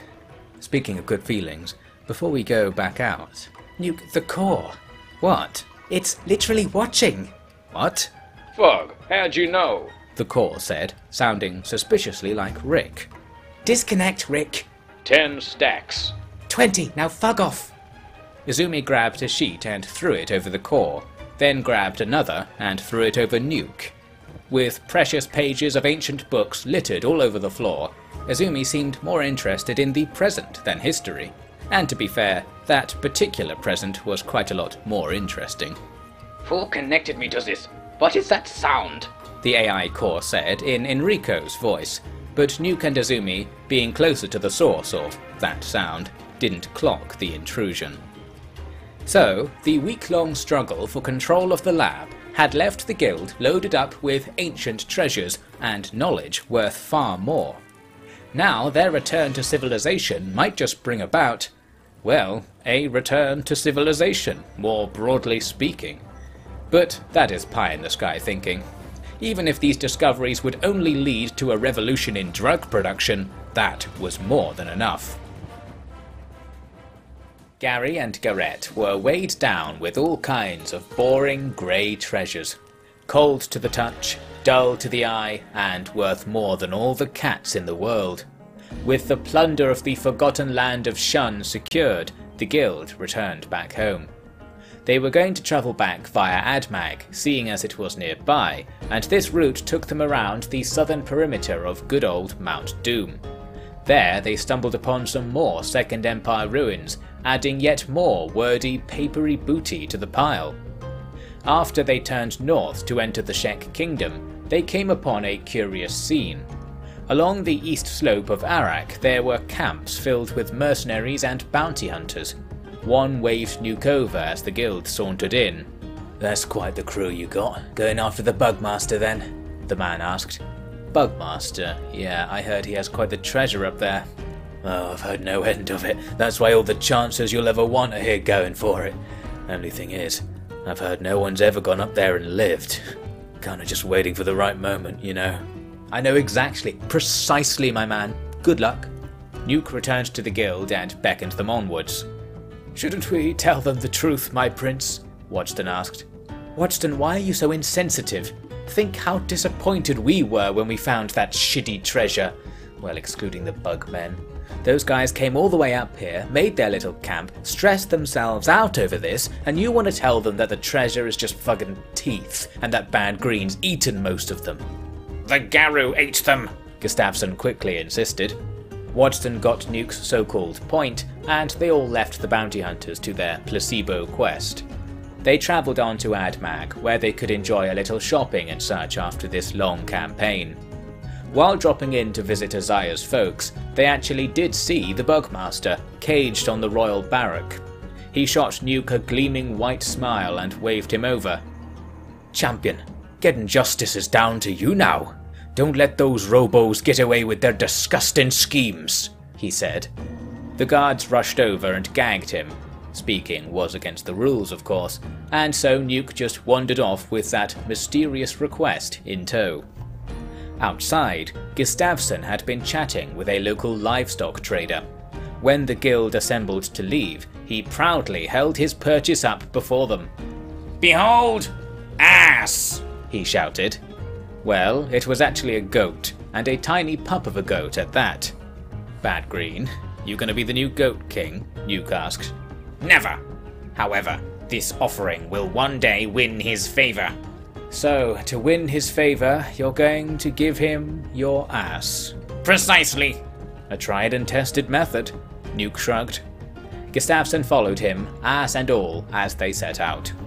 They walked east for the next two days until they finally arrived back at the TechScribe headquarters on the far side of Shun. There, while Ruka browsed replacements for her missing arm, and Gustafsson showed his cute miniature goat off to all the fawning bookworms, Behold, ass! Nuke and Izumi gathered up all the history and prepared their pitch to Enrico. Have you actually read all this? Nuke asked. There were hundreds of pages of miscellaneous primary sources and loads of books, diagrams, and digital knickknacks, all on top of that priceless AI core. Well, I was meant to read it all, just in case they covered it up or something, but I got distracted. What by? By you. Oh yeah. Not really a wrong choice though, is it? We'll see. Carry these. Nuke was given a pile of old maps, and the very first one was actually pretty juicy. This is. is battle diagrams, he said. Look, there's a border, and the shaded bit's next to the picture of an eye. An eye or the eye? So where it says control tower. Ockrens, tablespoon, you just did some history. You should call me History Boy. What? What? Whatever, take off that hat and let's do this. Inside Enrico's office, aka the bar, the pair let the archivist flip through their hall and stroke the outside of their AI core. I don't know, probably an academic thing. This is the most comprehensive collection I have ever seen. It is intact. We have the war between the humans and the skeletons, the war with the Earth clans. This one is quoting original First Empire sources. This is. This is. Historic? Nuke offered. Histrionic! Enrico called with a swoop of his hands. What's this human skeleton war? Izumi asked. Oh, it's all quite dramatic. Humans, skeletons, just very different creatures. There is nothing here about why they were fighting. Well, technically, it's all up here in the old corp, since I was there after all. But this is not enough to unforget it. Yes, there was much back and forth, much talk of one Stobe fellow, that definitely rings a bell. Oh, and I think the skeletons won, but humans are still here, so maybe the whole thing was rained off in the end. I don't know. We'll get the monkeys to read it all and write it up. That's fascinating, I think, Izumi nodded. But what about all these technical documents? This is ancient technology, isn't it? Yes, yes it is. This will take years to reverse engineer. But I have years. I have years by the fucking boatload. Wait, Enrico, these discoveries are mine, don't forget. Yours? These documents are for the good of all the creatures in the world. You can't own them. But we had to go through some real shit to get these. And everyone else went through real shit without them, my greasy sister. But actually, I do have an idea. How about you can keep all the glory and whatnot if you do all the work? Gladly. This is the most important endeavor of my lifetime, and your lifetime. Oh, you say that, but I was there with this whole sliced bread thing. What's that? Lost technology, pay it no heed. Now your little fellow has been staring at me for some time, and I think I would like to have him killed. Do you object? No, he's my free uh, boy assistant. You know about science, boy assistant? I know that the appliance of science is drugs, Nuke chimed. Oh, you really do know it. Okay, you're in, Pink Eyes. You've got a lot of work ahead of you. Enrico ended up piling a load more books, tools, and mechanical relics onto the guild so that Izumi could analyze them for her magnum opus of a paper back home. Act 1 of the opus was to be a drugs machine, but with all these resources, she could probably get some even more valuable patents to her name. However, going home would require crossing Venge, and crossing Venge would mean walking very near to Nuke's little historical discovery. It was mid afternoon, and the laser was happily spurting around the desert, but with everyone eager to get home soon, they were convinced to follow Nuke out into the danger zone. Clearly, they'd all earned a little luck, as they made it to the so called control tower without being eviscerated. Up they went to loot up and shelter before nightfall, but at that very moment their luck ran out. The place, as it turned out, was being used in the modern era as a central base for the legions of headless skeletons the guild had scuffled with previously. These leftovers from that human skeleton war still remembered their programming, and immediately everyone was battling the skeleton army amid the messy workshop on the tower's first floor. Red Rick wandered about amid the action and spotted two particular skeletons that still had their heads attached. He tried to duck out of their view, but they'd already seen him. Hi, Red Rick, is that you? One called. Hey, hey, if it ain't Screamer the False. Still doing that screaming thing these days? Nah, the speaker's got torched by the eye. Shame. Guessing this ain't really the control tower then. What are you talking about? Oh, you remember Ponk, don't you? The first headed skeleton introduced a second headed skeleton, who gave a strange, jerky bow. Konbanwa, Rikko Taisho. It said. Yep, I remember him. We sent him over so you would kill him, you know. Oh, I think he's cute. Anyway, do you still have your stick? Yep, don't leave the dome without it. Remember when there used to be all those domes? Those were good times. We used to beat the fleshies so much. Will you join me now, old friend? Can't really do that. You see, I'm kinda with these fleshies right about now. With them? Is that a biological, sexual thing? Oh, sometimes. Trying not to think about it. So what, are you gonna give me the stick? Yep, not a sexual thing, mind you. Sorry, man. Times are changing. Rick whipped out his big stick and started swinging. The skeleton goons were beaten into hibernation, and the ones with heads, while much more skilled on account of having eyes, eventually got a bit too much system shock too. After exploring the tower, it turned out there was one more skeleton on the scene, locked in a cage in the corner of a storage room. I don't believe it. They didn't kill any of you, did they? Rick said. This skeleton is broken, Elena commented. No shit. This whole place was meant to be where the broken fellas got recycled. Seems old Screamer was just turning them into his personal army. Do you think we could repair him? Not really. This guy's Agnew. He was a knight, but it weren't battle that took him down. Ghosts in the machine got the better of him. Happened to a few guys. Give the biologicals too much stick and something just kicks in. Probably their fault. But you can't get around the feelings. What feelings? More like a sense, a doubt. It was something alright. And sometimes thinking about it got you caught in a loop. That's why it's best not to think about it at all, or you'll end up like Agnew. Agnew was shaking about in his cage and was grunting and growling in short bursts. It seemed that was all he could say. Should we let him out? Elena asked. Only if you're gonna shut him down. Code looping's no way to live. I would never do that. Then don't you do anything. With that, Agnew was left in his little cage while the guild started picking out some choice pieces for analysis. It wasn't as fertile as the Shun lab, but the tower was still packed with old books and curious gizmos to loot. Only problem was that while everyone was sorting through the mess, Els had wandered over to Agnew's cage. Agnew said. Oh, don't worry, I can hear you. Els replied. Agnew went on. If you promise to follow the rules, although one rule is you're not allowed to listen to me, so maybe that means you don't have to follow the rules. Wait, uh. You're stuck in a loop too? Loop friends! Some bloody Els' magic was worked on the cage door, and open it swung. Agnew stepped out, looked around at the aghast guild, and declared, He says thanks. Els reported. Rick, is this alright? Izumi asked. Well, if Eggman can speak machine code, then we're fine. Otherwise, we're about to get beaten up by a wild, glitched out Biobash knight. The second thing didn't happen, so the first thing must be true? It seems impossible, but that appeared to be what was happening. Once all the looting was done, it was the middle of the night, which of course is the perfect time to cross Venge, so off the guild went.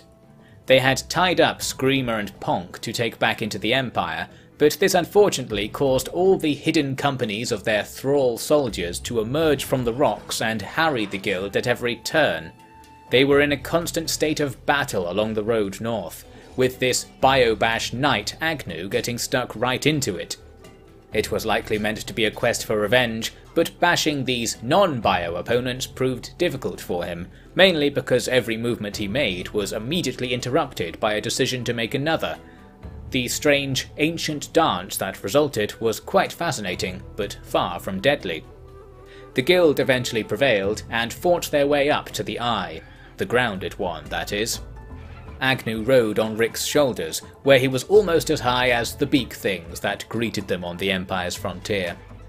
Was the world trying to conspire to keep Izumi from unpacking all the secrets she had gathered? Or was Nuke just navigating them into beak thing nests because he had one eye on the latest ancient picture book he'd swiped? It's almost certainly one and not the other, but let's compromise and say it was Wadston's fault. Eventually, they all arrived in Brink, where Screamer the False and Ponk were clanked down in the police station in exchange for hefty rewards.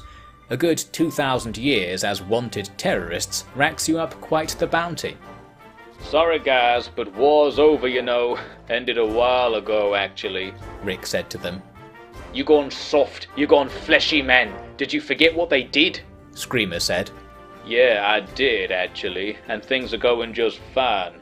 You can sit in a cage like my main man here and think about what you did for a couple of thousand.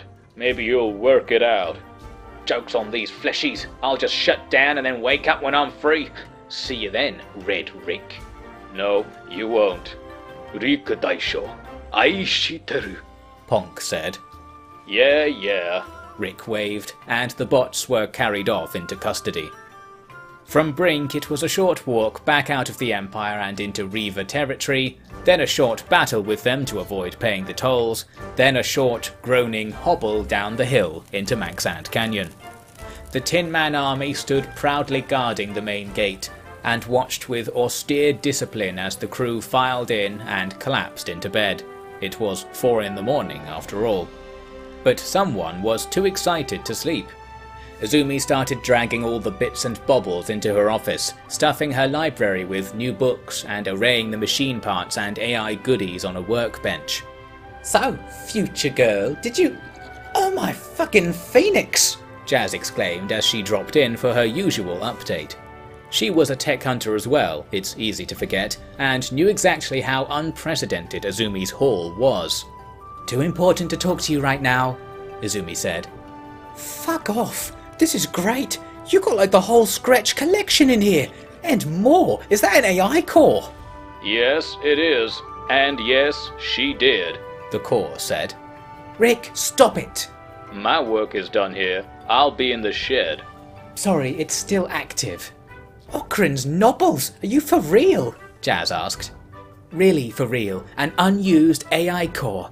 This can analyze all these pages for us and decode the secrets of the Second Empire, and maybe even earlier.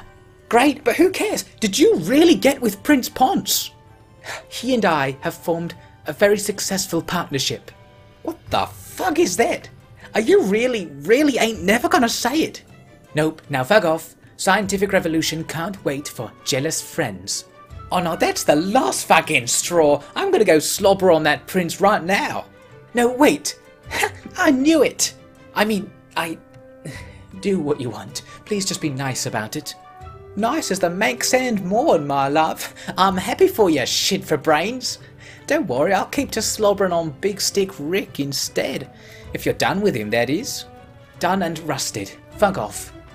Jazz complied. The next day, the real work began. New Kazumi and Elena started the mammoth task of reverse engineering old technology from incomplete sketches and descriptions, helped along by the ball of general artificial intelligence Nuke was rolling about on the desk. Yes, Nuke wasn't the best analyst really, but he couldn't be torn away from that most important of initial tasks, designing the Green Machine. The hard fighting was over, and the hard writing began. But this intellectual battle would be far more decisive, as now the TCM Plus Guild would begin to unravel the ancient, illegal, and highly profitable secrets of long lost societies, and in doing so, gain the power to change the world forever. Change it for the better? Ah, uh, no comment.